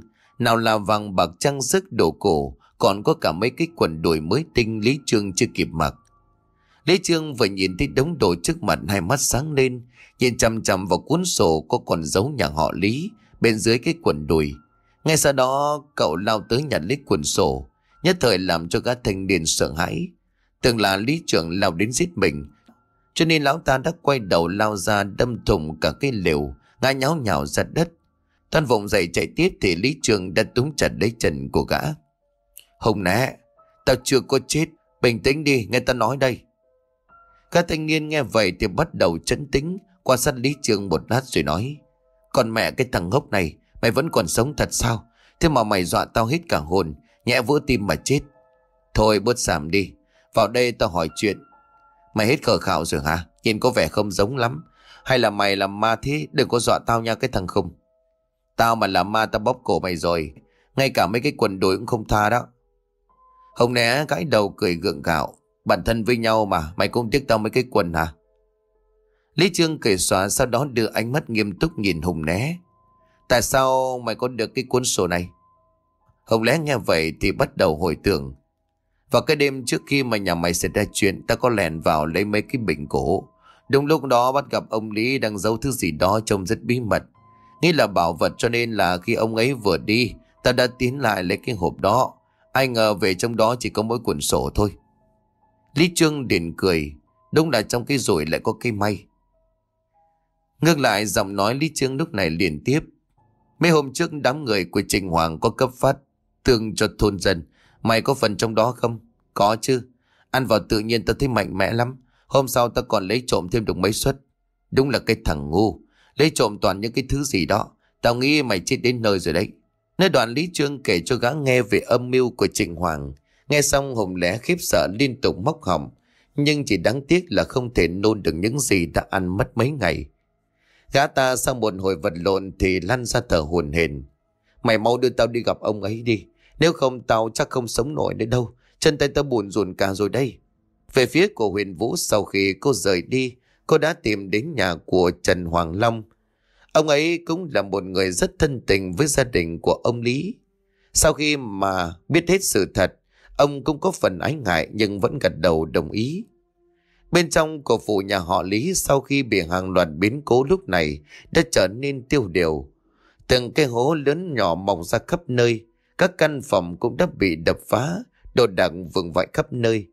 Ở sau biệt phủ một nhóm người đang đứng trước mấy chục ngôi mộ mới đắp vẫn còn đang nghỉ ngút khói. Cha mẹ, Lý Trương con về rồi, người xem con đem ai tới đây. Lời nói vừa dứt thì Trình Hoàng lúc này được đẩy ra trước ngôi mộ. Trường gỗ cùng với mấy gã đứng ghi chân cho gã quỳ xuống. Lúc này Lý Trương mới tiến lại. Cậu túm tóc của Trình Hoàng đập liên tiếp xuống mặt đất mấy cái như là đang bắt gã cúi đầu nhận tội. Sau đó thì lại bảo đám trường ngủ chuyển sang ngôi mộ khác. Lần lượt mỗi ngôi mộ là ba cái dập đầu. Trình Hoàng sau khi được đưa trở lại, mặt mũi toàn là máu. Hai mắt cũng đỡ đấn đi. Tuy nhiên thì Lý Trường vẫn biết điểm dừng không để cho gã phải mất mạng. Lúc này một người to béo tướng mạo uy nghiêm mới bước ra rồi lên tiếng. Mọi chuyện ở đây coi như đã xong. Trình Hoàng từ nay ta sẽ tiếp quản. Cuốn sổ tội trạng của chị huyền Trình Khải cũng đã có. Ngày mai ta sẽ cho người bắt chị huyền về để trị tội. Khoa đã chỉ phủ. Chuyện này tạm thời hay giữ bí mật. Chúng ta có chuyện khác cần phải giải quyết trước. Lão Nghiêu lên tiếng ngăn lại. Chi phủ được ánh mắt tò mò chờ đợi. Nhà họ Trình không chỉ vu oan sát hại nhà họ Lý, mà còn đang có âm mưu lật đổ chi phủ đại nhân. Bọn chúng đã sử dụng bùa ngải âm thầm điều khiển thôn dân nhằm nuôi binh phục vụ cho kế hoạch. Là còn chuyện này sao hả? Đúng thật là to gan. Phải để ta cho người đến tri huyện ngay bây giờ. Như vậy thì không được đại nhân. Theo như tôi biết, gần đây một nửa dân chúng trong huyện Bình Khúc đã nhiễm phải thứ bùa ngải này. Nếu bây giờ mà đại nhân có tới đó, chắc chắn các thầy đó sẽ ra tay thao túng dân chúng. Sao là sẽ có nhiều người phải chết. Vậy ông đã có dự tính gì chưa? Chuyện này phiền chi phủ đại nhân vất vả một chuyến rồi. Sau khi bàn bạc kế hoạch, chi phủ ra lệnh cho mấy tên lính đệ mang theo Trình Hoàng lập tức rời đi trong đêm. Còn lại mọi người tập trung bên trong đại sảnh của nhà họ Lý để bắt đầu bảo chế dược liệu dài ngày. Những thứ dược liệu này đều đã được lão Nghiêu giao cho đám người trường cụ chuẩn bị hồi sáng. Và đến bên trong lão Nghiêu gọi hồn lé lại, sau đó lấy ra một chút dược liệu mà ban nãy lão đã bảo chế, rồi đem pha với một chút nước đưa cho Hùng Lé uống thử. Nhà lấy chén thuốc Hùng Lé run lên, nhưng vẫn nhắm mắt hốc một hơi hít sạch. Hơn một phút đồng hồ trôi qua, không thấy có hiện tượng gì lạ, lão Nghiêu lúc này thở dài. Chắc là dược liệu của mình chưa đủ mạnh. Nơi đoàn lão liền tiến lại chút dược liệu toàn bào chế loại các mạnh hơn. Hầu lẽ đột nhiên khủy xuống chân tay cổ quáp hà hốc miệng, hai mắt trợn trắng. Lý Trương sợ hãi ngồi xuống toàn đỡ dậy, thì lão tiêu ngăn lại. Sau mấy nhịp con giận hùng lẻ bắt đầu nấc lên, rồi từ từ nôn ra những thứ dịch nhảy vô cùng hôi thối. Sau đó thì nằm im bất động. Lão Nghiêu tiến lại xem xét hồi lâu rồi mỉm cười. Thành công rồi, chúng ta cứ theo phương thức này bảo chế đi. Cậu ấy có sao không? Tại sao vẫn chưa tỉnh? Ông cứ yên tâm, cậu ấy sẽ tỉnh lại sớm thôi. Ông Long gật đầu sau đó lại tiếp. Phải làm sao chúng ta biết được ai đã bị chúng ngài mà cứu chữa? Đây cũng là điều mà tôi lo lắng, cho nên mới cần ông giúp đỡ. Chúng ta chỉ cần hỏi xem những ai đã ăn thức tương đó, rồi cho họ uống thuốc. Còn số người không thành thật, thì chúng ta cũng chỉ biết chấp nhận.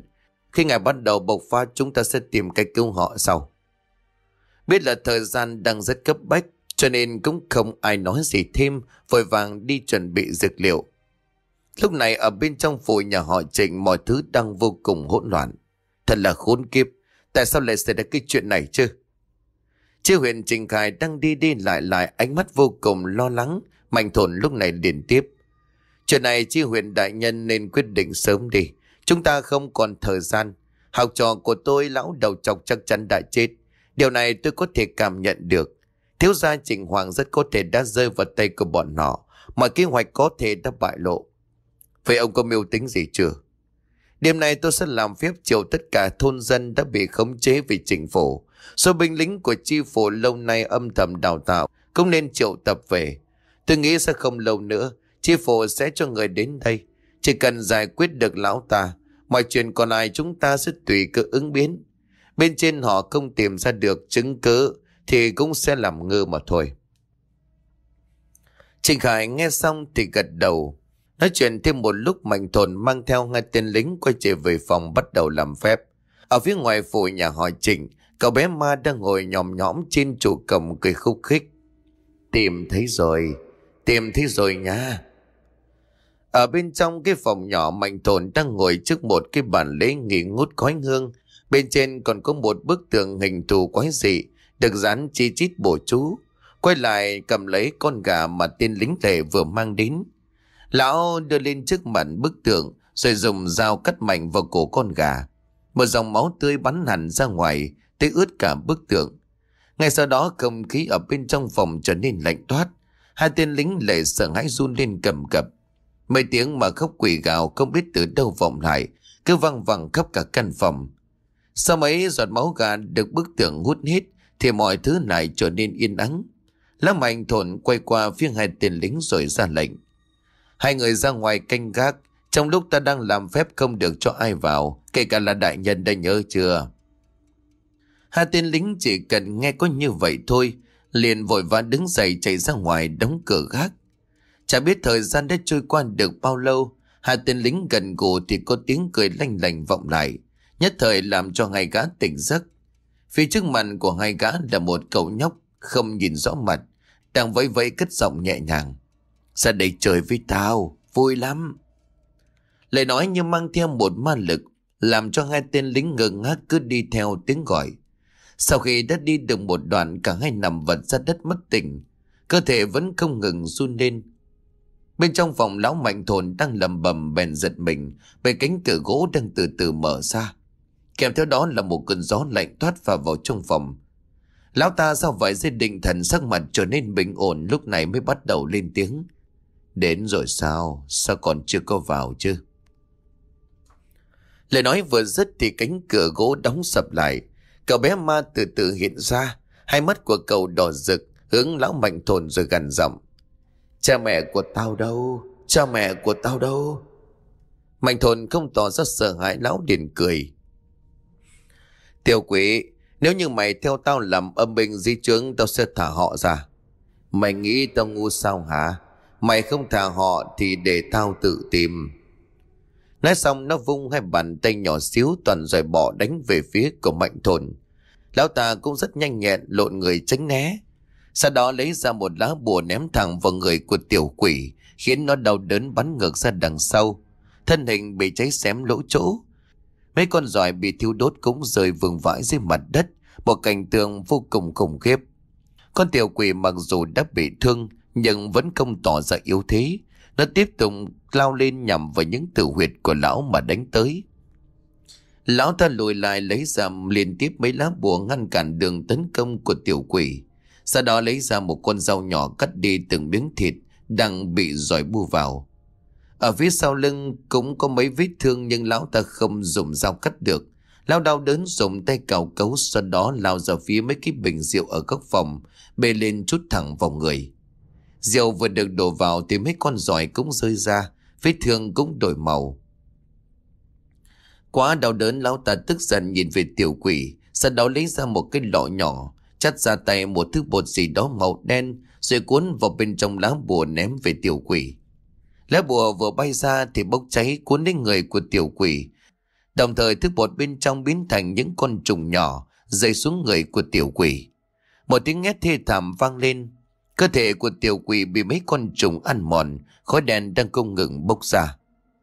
Lão mạnh thồn không cam lòng nhưng cũng chẳng thể đuổi theo. Lão ngồi xuống kiểm tra vết thương sau đó tiếp tục làm phép. Tiếng gà gáy vừa cất lên cũng là lúc đám người lão nghiêu hoàn thành số thuốc. Ai nấy đều rất mệt mỏi. Hai mắt thâm quầng giống như là người đã mất ngủ lâu ngày. Khét thở dài lão nghiêu liền lên tiếng. Trình Hoàng đã bị bắt, thế có thể chi huyền Trình Khải đã đoán được điều gì. Chúng ta hiện giờ không thể chậm trễ.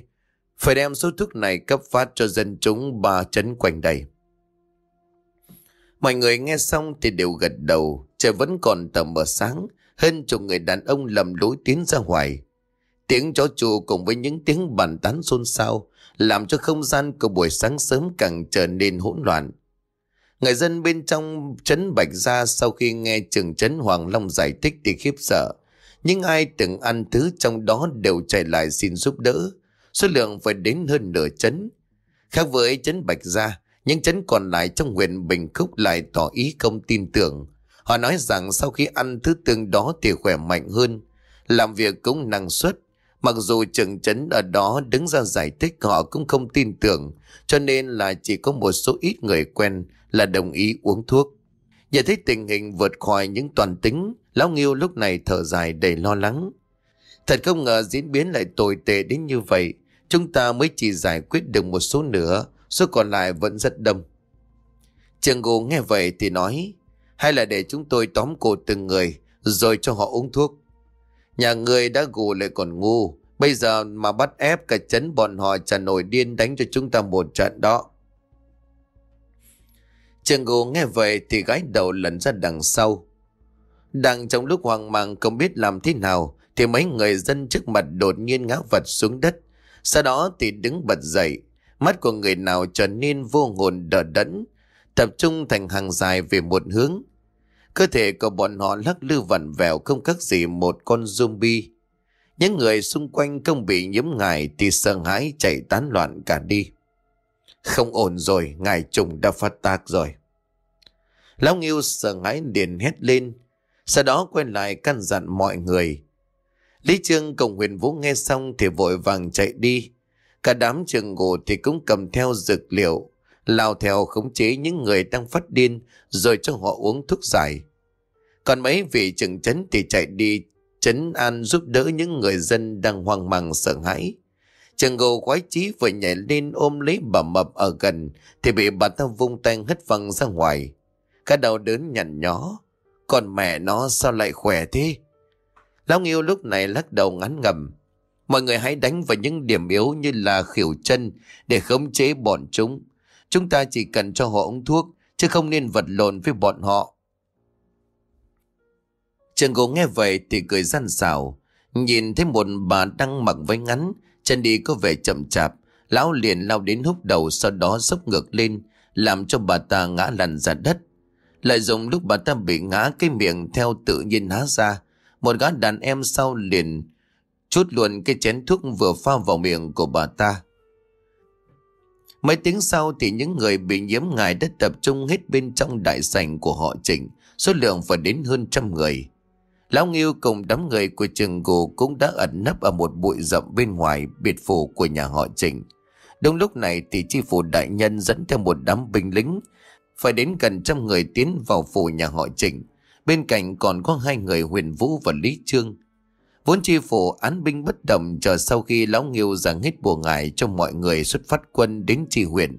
Thế nhưng do tình hình phát sinh, dân chúng bị ngài khống chế cho nên lão Nghiêu đã bảo huyền vũ Cổng Lý Trương trở về nhà họ Lý báo cho chi phủ biết. Và hai đám người đêm qua chi phủ đều đi triệu tập binh lính cũng về đến nơi, cho nên một đường đến thẳng đây.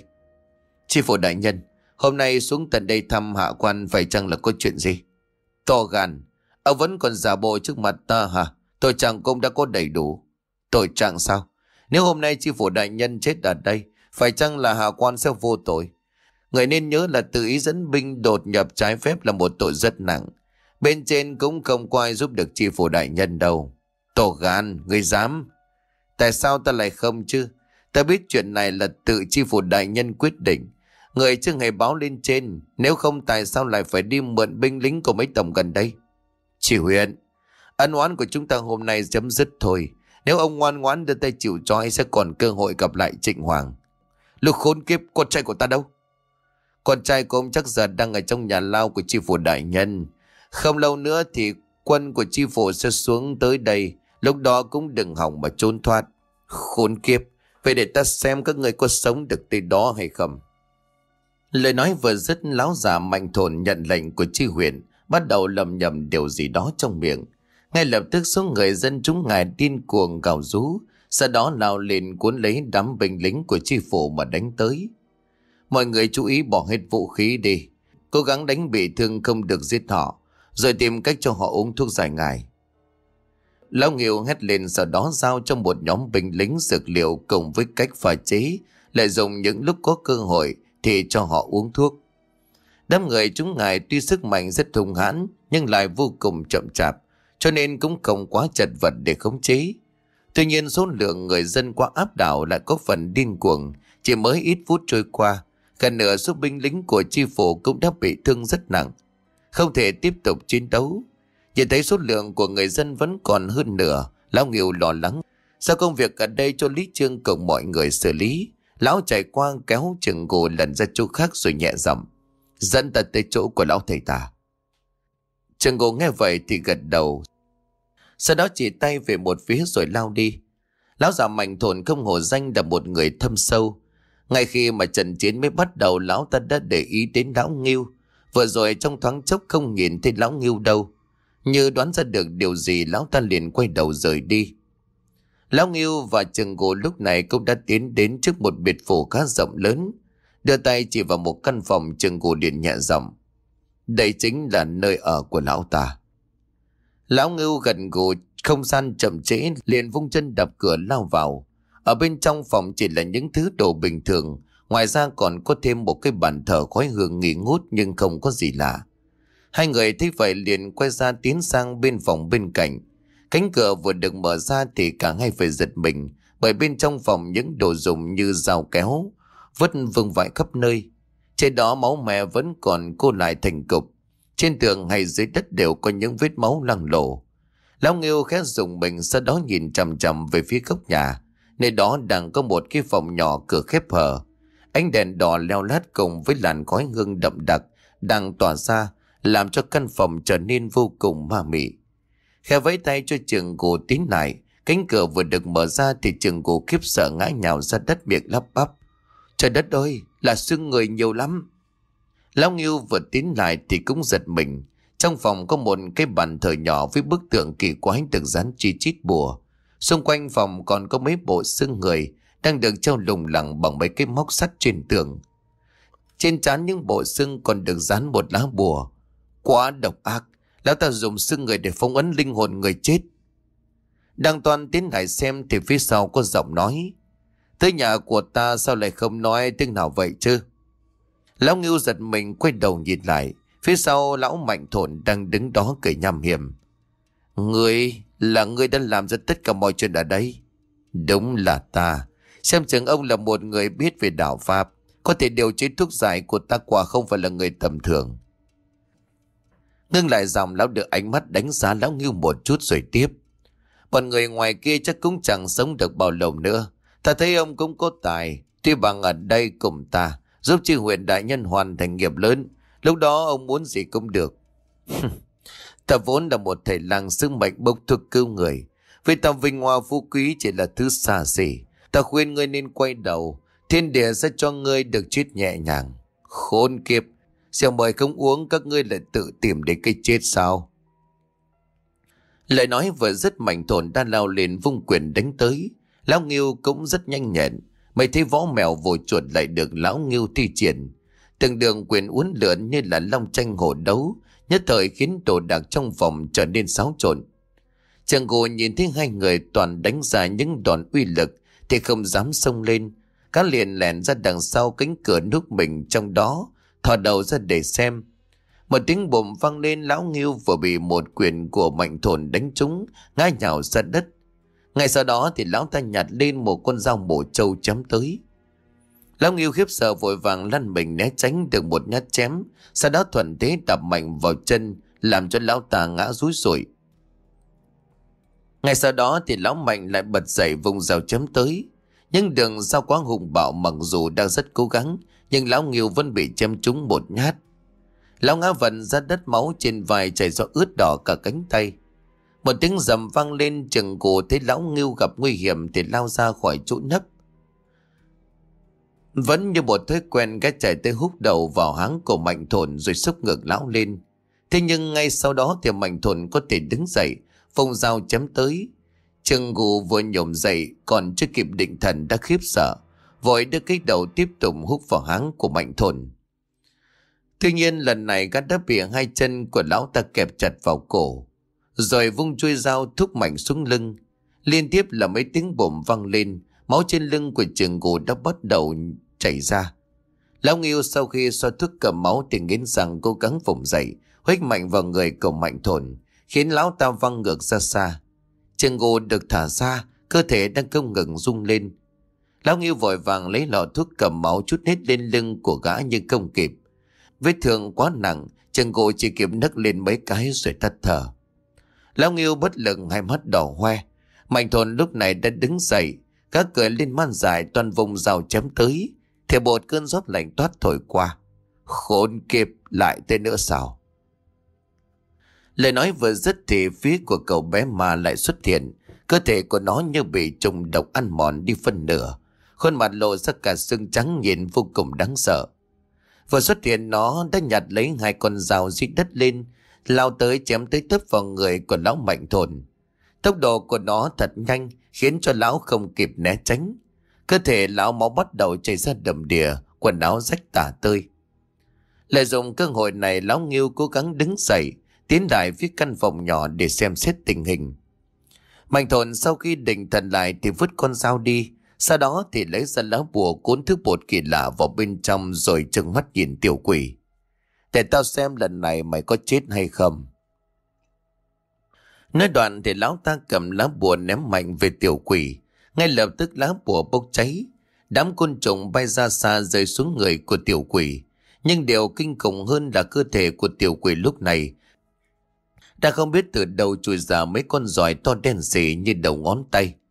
Bọn chúng há mồm ăn cả màng thịt có côn trùng đậu vào. Chỉ trở lại sưng trắng.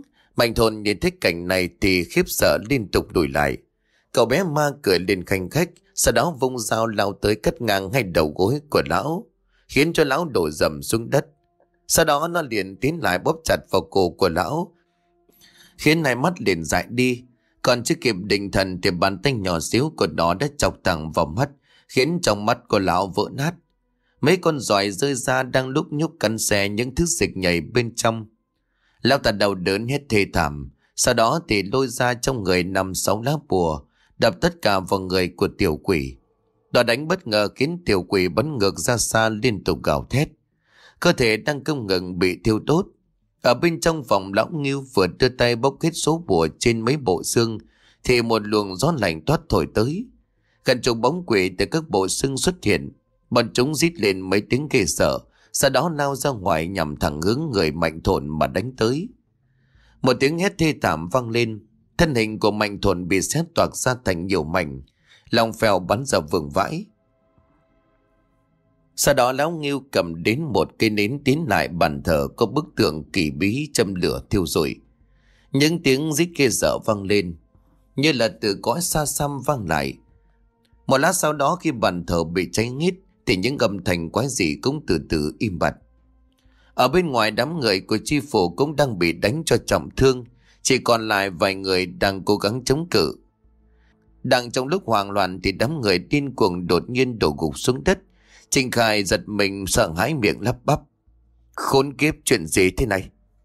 Nhưng sau đó lão ta lại cười bởi phía chi phủ mọi người đã bị tiêu diệt gần hết. Trong khi đó thì lão ta vẫn còn một đội binh lính hơn 30 người bảo vệ. Chi phủ đại nhân, xin tiễn biệt. Lời nói vừa dứt thì đám lính của chi huyện vùng giáo lên. Nhưng ngay sau đó tất cả phải đứng cận lại. Bởi phía cổng hàng trăm thôn dân đang cầm gậy cọc cuốc sẻng, theo hiệu lệnh của trưởng trấn tiến vào. Đám lính biết không thể thoát được cho nên buông vũ khí đầu hàng chịu trói. Chi huyện Trịnh Cải lúc này lập tức bị bắt. Số người còn lại cũng đã được mọi người chia nhau uống thuốc để đi trừ tà. Mấy ngày sau vụ án oan tại nhà họ Lý được làm sáng tỏ. Trưng tránh tổng mới chi phủ đích thân bổ nhiệm cho Lý Trương Tuy nhiên cậu từ chối cho nên chi huyện cùng với tránh tổng mới cũng được thay thế. Huyền Vũ và Lý Trương quyết định đi theo Lão Ngưu về cốc học viện, bốc thuốc cứu người. Thân xác nhà ba người cũng được Lý Trương giữ đúng lời hứa, đem về cốc viện để chôn cất và hương khói đầy đủ.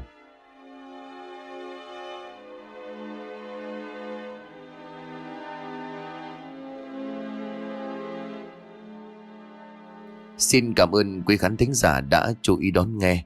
Xin kính chào, tạm biệt quý vị và xin hẹn gặp lại quý vị và các bạn